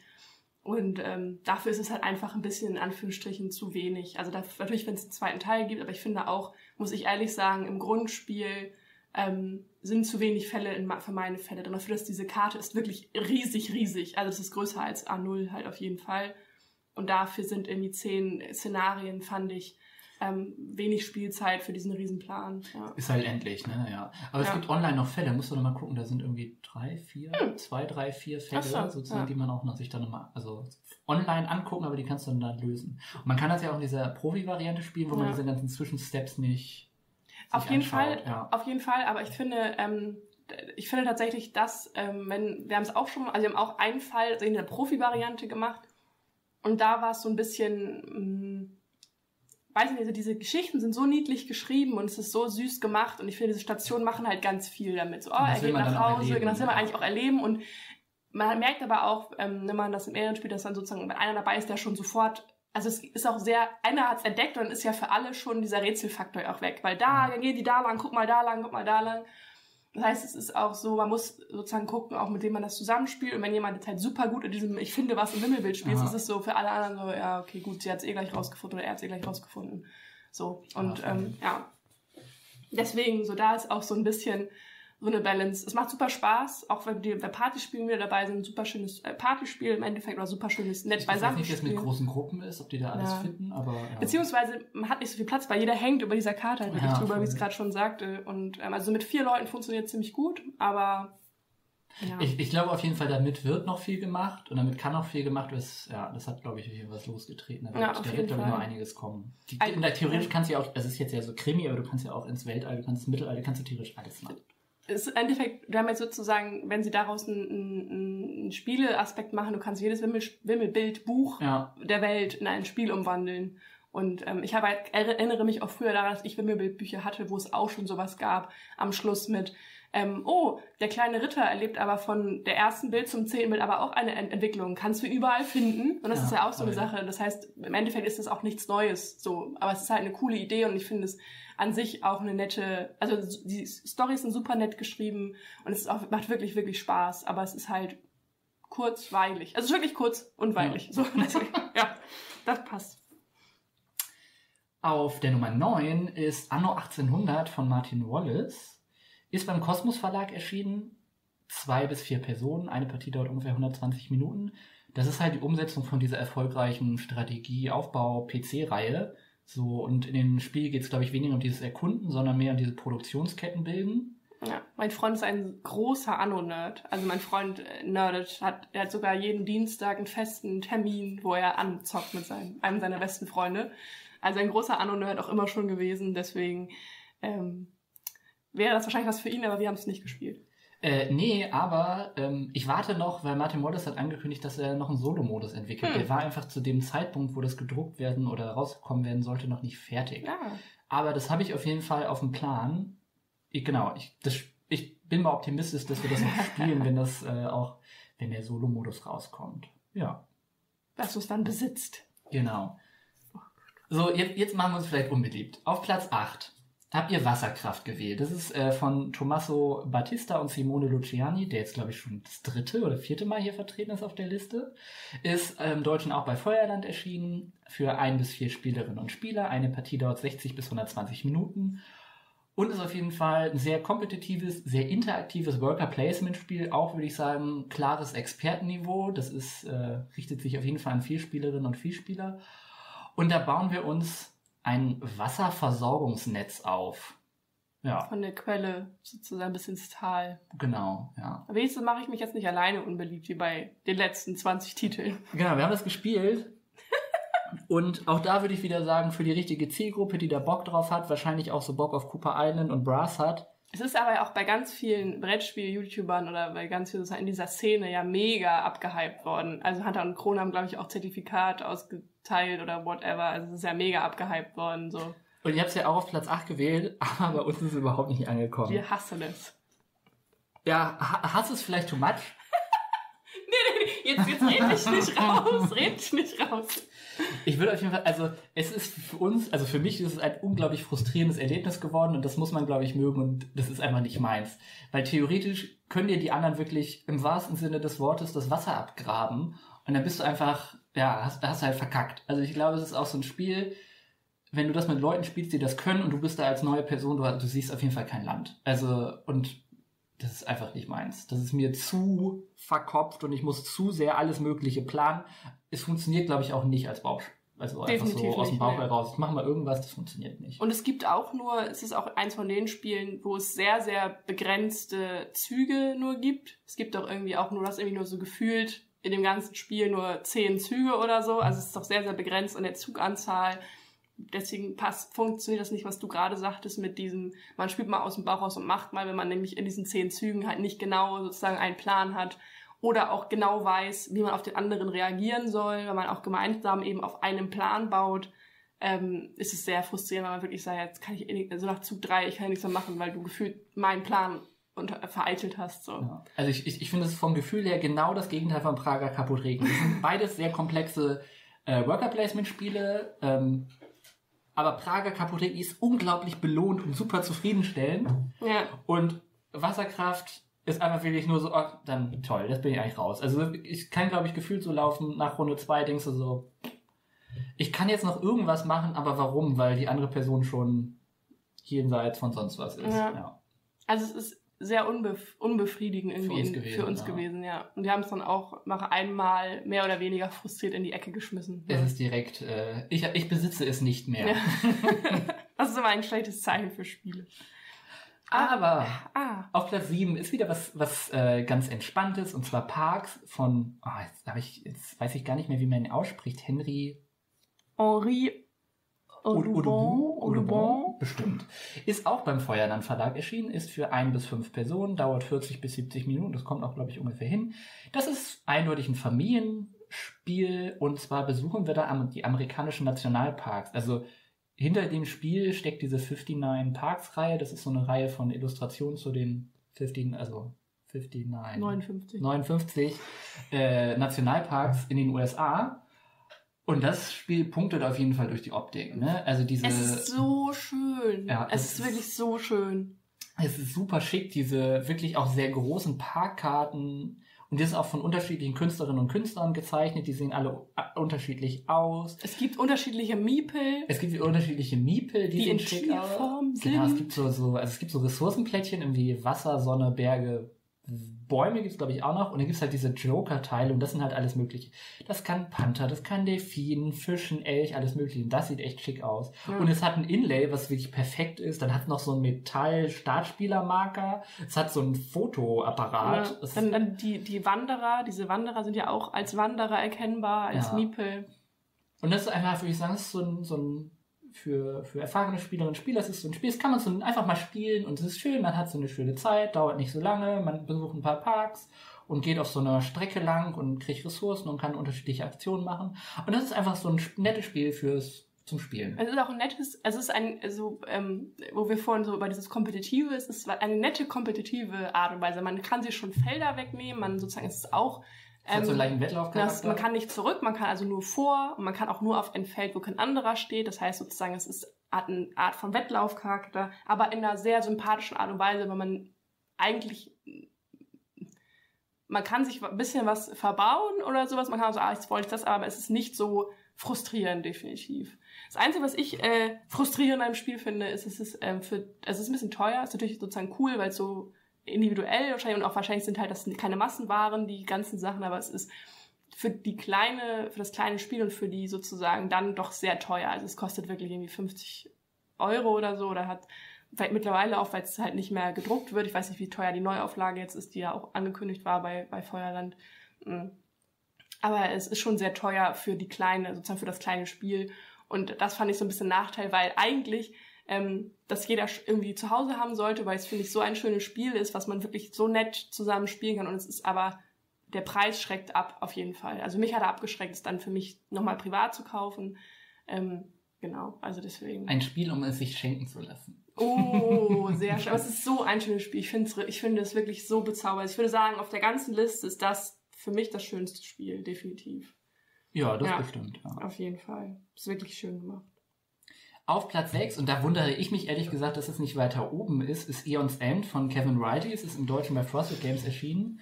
Ist ein kooperatives Deckbuilding-Spiel für ein bis vier Spielerinnen und Spieler. Eine Partie dauert so 45 bis 90 Minuten. Und wir sind so Rissmagier, die gegen unterschiedlichste, also wirklich ganz, ganz unterschiedliche Erzfeinde kämpfen. Und ich hätte eigentlich gedacht, weil das so im Englischen so super lange schon gehypt worden ist und alle waren so, wow, jetzt kommt's endlich auf Deutsch. Also klar, Platz 6 ist hoch, aber ich hätte gedacht, das landet weiter oben.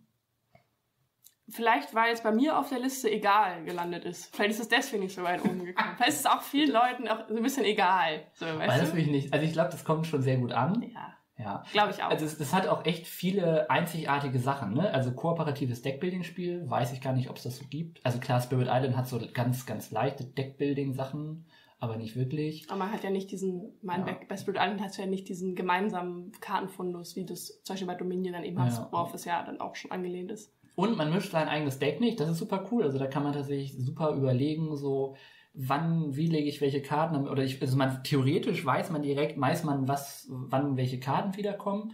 Die Erzfeinde spielen sich alle völlig unterschiedlich. Mhm, ja. Es ist, kann sehr schwer sein, aber ich finde es nie frustrierend.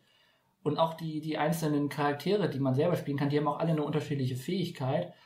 Und dadurch auf jeden Fall super hoher Wiederspielreiz. Es gibt ganz Ja. viele, also es gibt so Zauber, es gibt irgendwie Artefakte und dann halt noch so Edelsteine, die uns sozusagen das, die Ressourcen bringen, um die Karten zu kaufen und Aktionen zu machen. Und dadurch super hoher Wiederspielreiz. Total, also ich finde es richtig, richtig cool auf jeden Fall.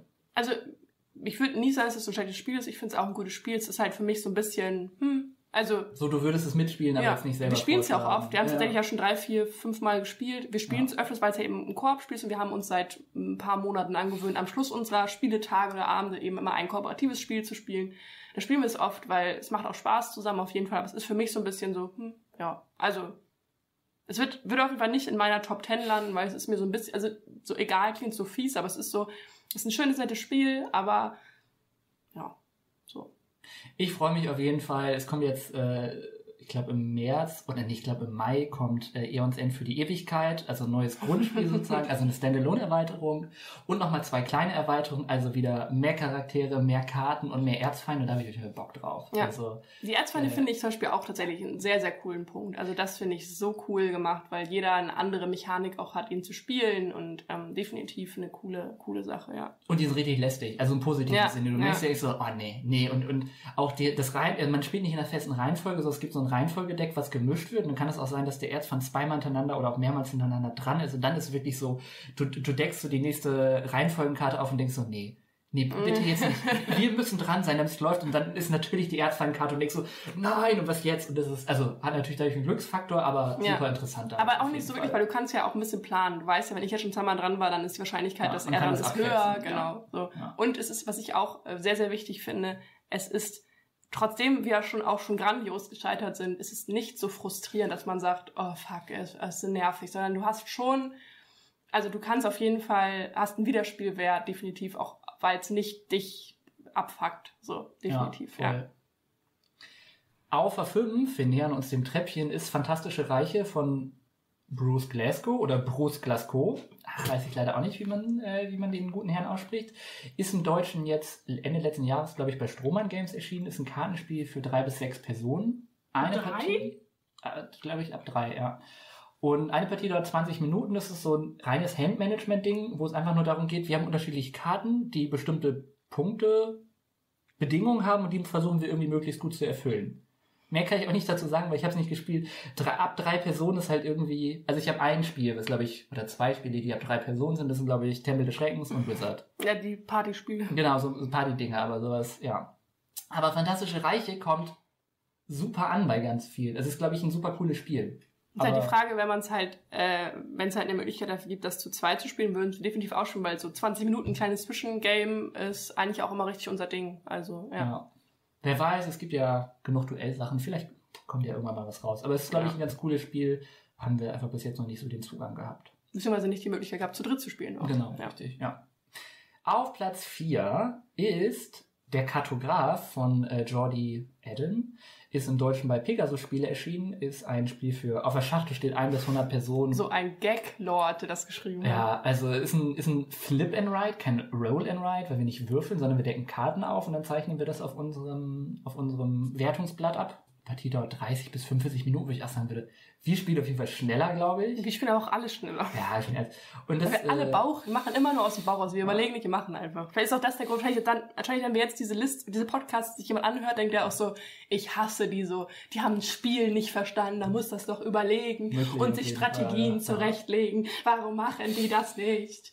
Wahrscheinlich deswegen. Und es spielt in der Welt von Roleplayer, das ist ja dieses, ah, das ist ein sehr cooles Würfelspiel Ja. auf jeden Fall. Ja, und äh, Kartograph ist ein etwas komplexeres Flip and Ride und wurde auch zum Kennerspiel des Jahres nominiert. Ja, da gibt es auch eine kleine Besonderheit und zwar, mh, wir haben es einmal zusammengespielt als Roll and Ride, also einmal in Real, Real und ich habe es äh, mir dann als App geholt. Es gibt es im App Store, ich glaube, es kostet 2 Euro oder 3 Euro, es ist auf jeden Fall sehr günstig und seitdem spiele ich es gerne in der App und ähm, funktioniert sehr gut.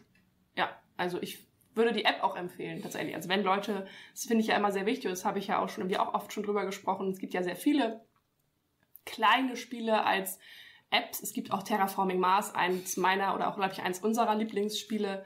Ähm, auch als App eine sehr gute App, die funktioniert. Ich finde das immer sehr gut für Leute, die eben nicht zu zweit spielen können oder die eben nicht das Geld haben, sich das Brettspiel zu kaufen, wenn es als App das gibt. Ähm, und äh, Kartograph ist eben auch so eine und diese App funktioniert sehr gut und macht auch auf jeden Fall viel Spaß, ja.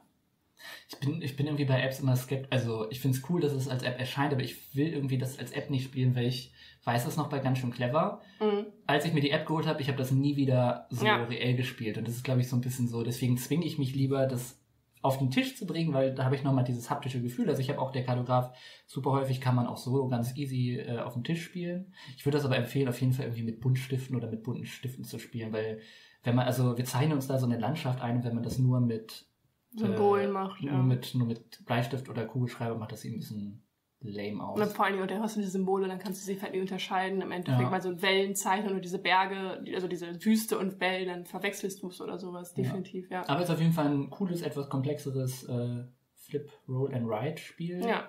Auch wenn ich sagen würde, letztes Jahr sind viele bessere erschienen, die hier nicht auf der Liste sind. Aber Ja. ich finde Fleet the Dice Game deutlich interessanter. Rajas. Rajas of the Ganges, The Dice Chambers ist richtig cool. Trois Dice fand ich Ja. auch cool.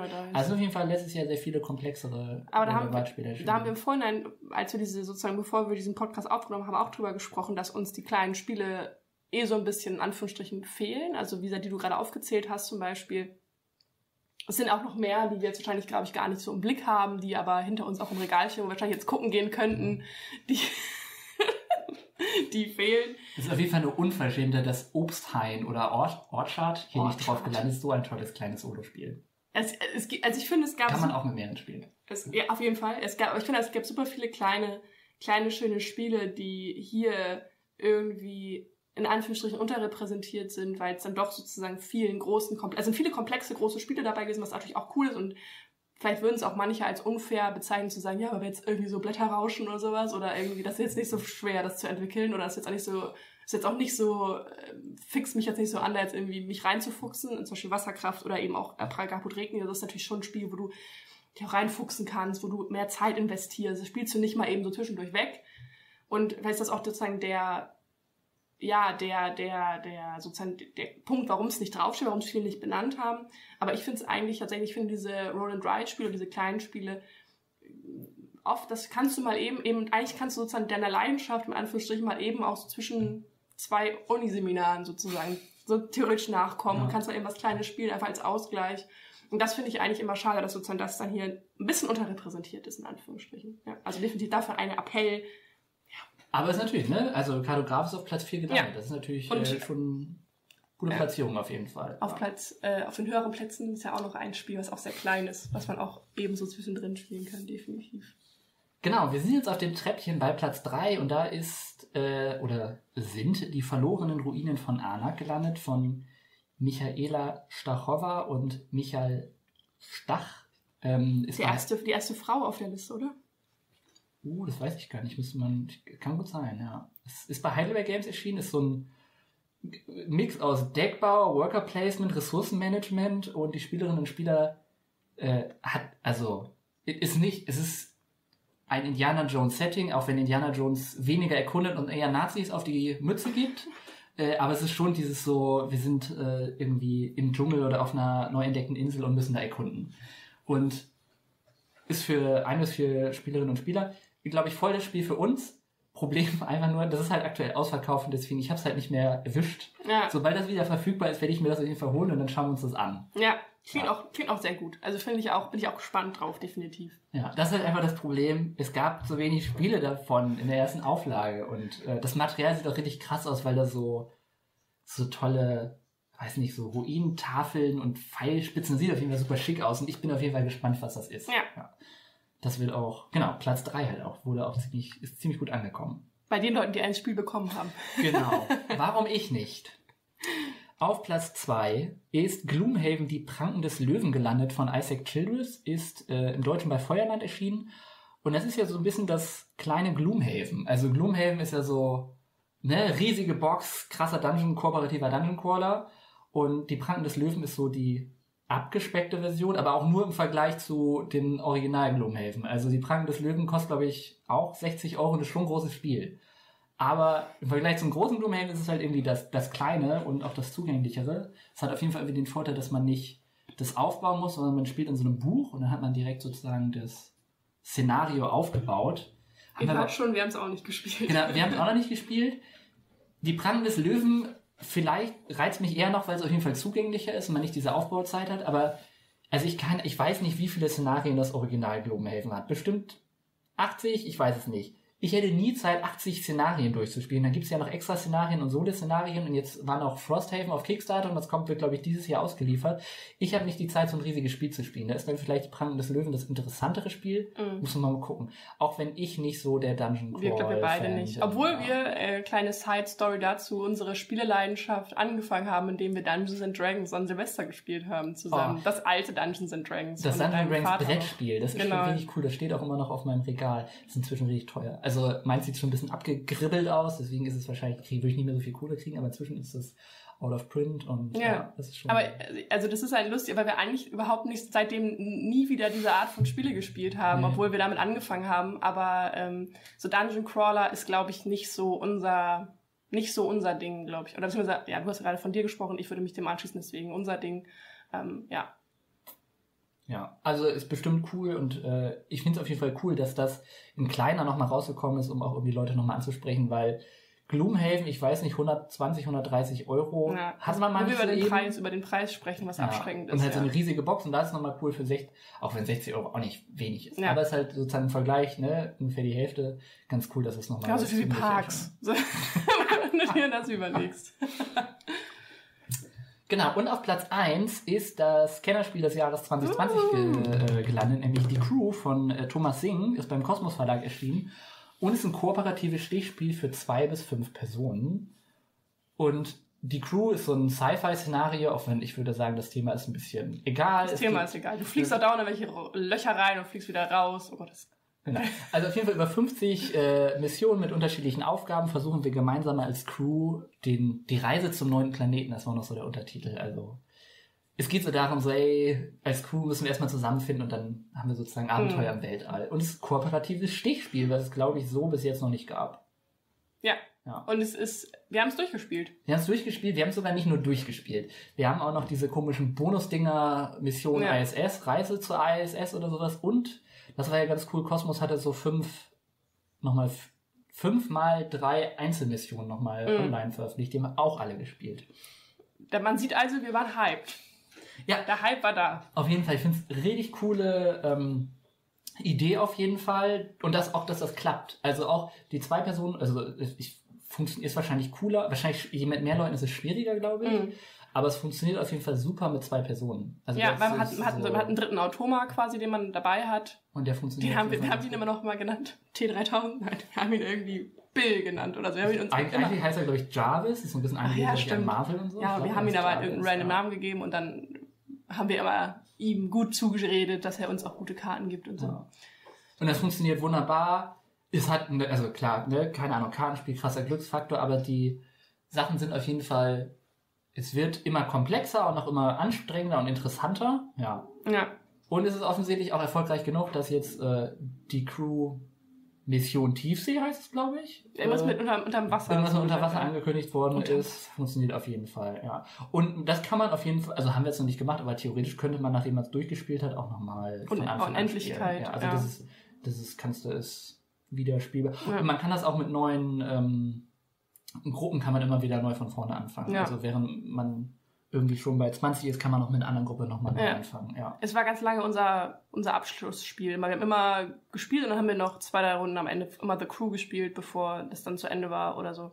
Ja. Definitiv. Das einzige Nachteil ist, der Startspieler. Ah, der Startspieler mag das richtig Der ist öffentlich, bis fällt immer heute noch immer unser, unser, wenn wir irgendwo sind, besser als bei The Crew. Noch der, die Kackigkeit ein Startspieler mag, ja, definitiv. Das ist halt auch ein 10-Euro-Kartenspiel, ne? Ja, auf Aber jeden Fall. Hätte man, ihn Ja. noch einfach, hätte man einfach nur ein Plättchen nehmen können, Ja. dieses zusammensteckbare Ja. Ding. Das wurde in anderen Sachen auf jeden Fall besser geregelt. Das ja. stimmt, ja.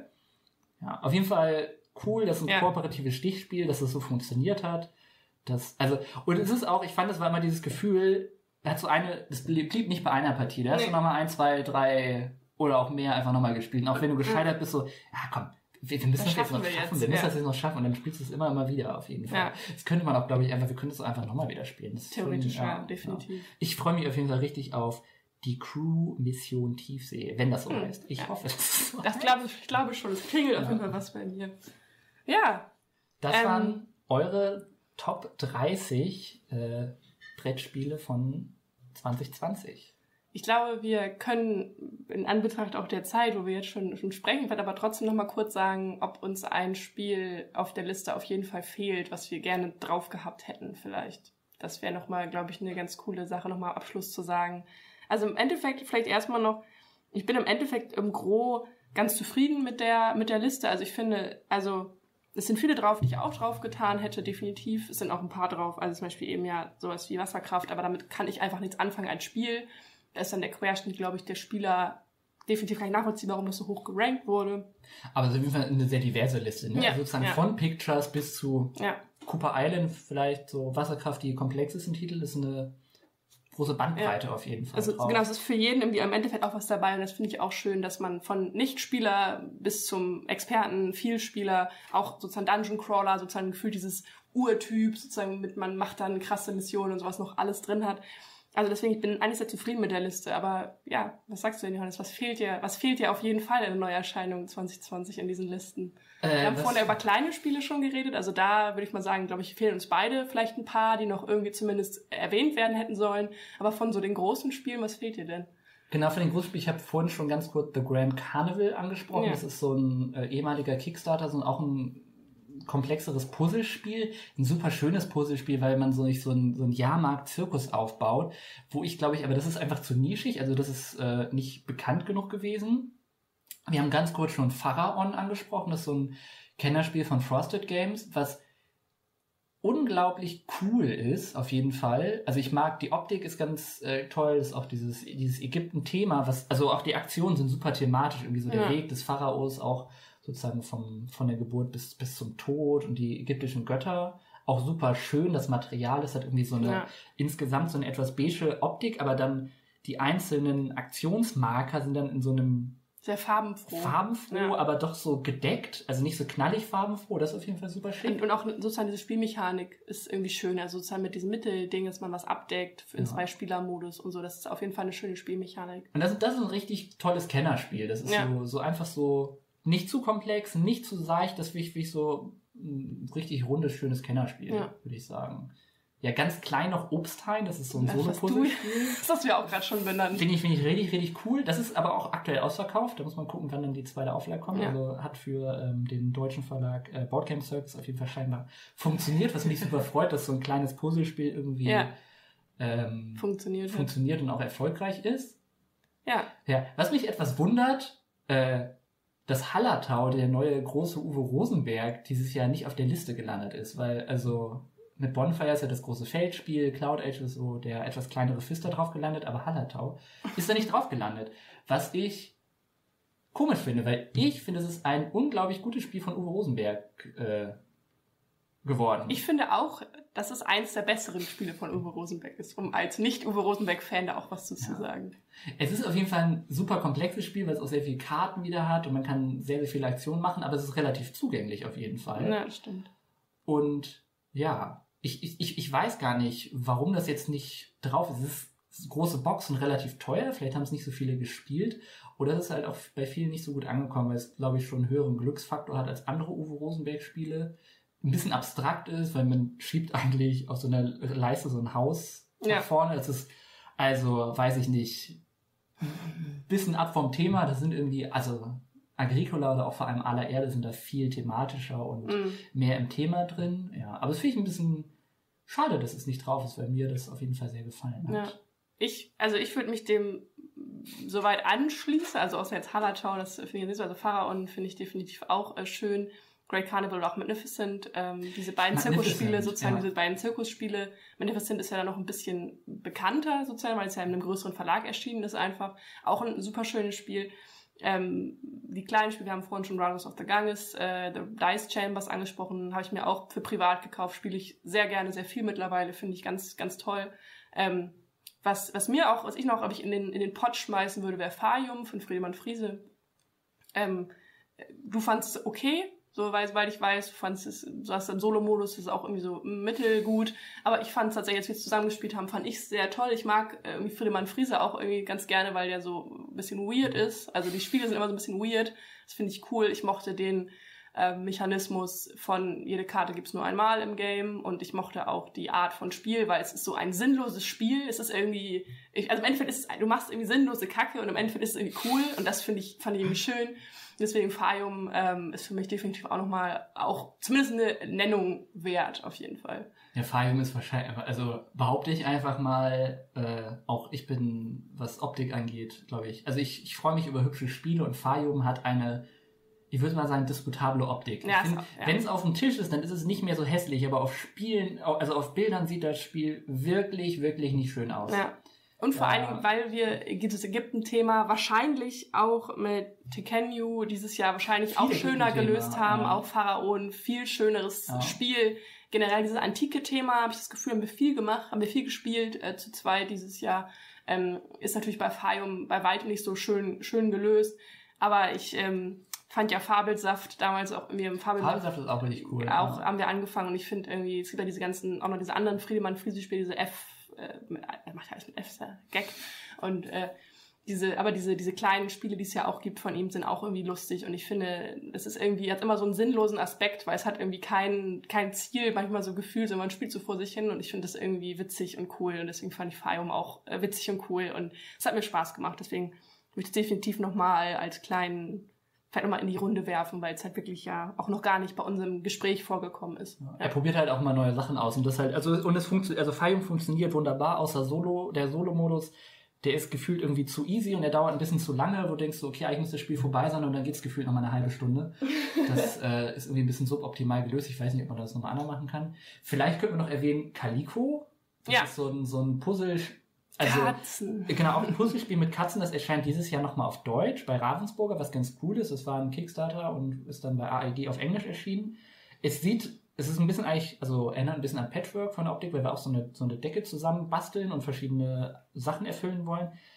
Super, super simple Regeln, aber Super komplex. so ein Brecherding, wo du dich da reinfügen musst, so, okay, wo packst du welches Plättchen hin, weil du gefühlt alles, du machst alles falsch. Ja. Und am Ende denkst du so, oh Gott, aber es ist nie so frustrierend, das ist also optisch super, Super toll. schön, Beth, ja. Beth Sobel hat das illustriert, das sieht unglaublich schön aus. Diese Katzen sind super niedlich, die unterschiedlichen Muster der Decken sind ganz toll, ja. Ja. Also vielleicht kommt das ja dann in der 2021-Liste. Vielleicht, wenn es auf Deutschland Deutsch. Bei, bei Ja. Ravensburg erscheint. Haben wir noch was? Ich überlege gerade nochmal. Glenmore Chronicles, vielleicht auch eine Sache, die. Das ist die Neuauflage. Ich, genau. ich, ich bin mir gar nicht sicher, ob das 2019 oder 2020 erschienen ist. Das Aber, haben wir auch- du hast nachgeguckt, Ich habe ne? hab da nachgeguckt Ja. im Vorhinein, aber würde ich auch auf jeden Fall erwähnen, fand ich auch ein ganz cooles Spiel. Ich mag diesen, dieses Schottland, ähm, Das ist auch super schön. Genau, super schönes. Ich mag dieses Thema tatsächlich, ich mag, mag gerne dieses, ja, Schottland, alles was mit England, Schottland zu tun hat. Und ich finde, es kommt nicht oft so oft vor, gefühlt in der Brettspiel, weil zumindest nicht in den Brettspielen, die wir spielen. Deswegen fand ich das auch äh, sehr schön, ähm, würde ich auch auf jeden Fall erwähnen, so wie Fayum. Also ist jetzt auf jeden Fall nicht in meiner Top 10 vielleicht drin, aber definitiv Erweiterte erwäh erwähnenswerter, wenn es in diesen Top 30 eben gar nicht drin war. Ja. Ja. ja. Das war doch schön. Vielen Dank, dass ihr uns zugehört habt. Ich fand es gut, dass ich die Böse in diesem Podcast jetzt war. Das müssen wir vielleicht mal ändern, dass wir einfach nochmal Rollen switchen. Gucken wir, dass wir das nochmal hinkriegen. Dass wir, Spiel, dass wir Spiele besprechen, die du gehasst hast. Fuji zum Beispiel. Oh, oh, das ist nochmal ein ganz anderes Thema, was Fuji für ein stranges Spiel ist. äh, genau, aber das soll jetzt auch vergessen sein. Wir haben, wir haben äh, lange gequatscht. Das äh, war auf jeden Fall super cool. Das machen wir auf jeden Fall wieder, glaube Ja. ich. Ich, Gucken, ich hoffe, ankommt. Vielleicht werde ich auch ab, komplett abgehatet von allen Leuten. Wer genau, wir, wir hoffen, dass es äh, interessant für euch war, dass ihr uns gerne zugehört habt. Und Es hat Spaß gemacht mit dir. Danke für die Einladung. ja, bitte, bitte. Und dann, dann hören wir uns hoffentlich wieder. Tschüss. Tschüss.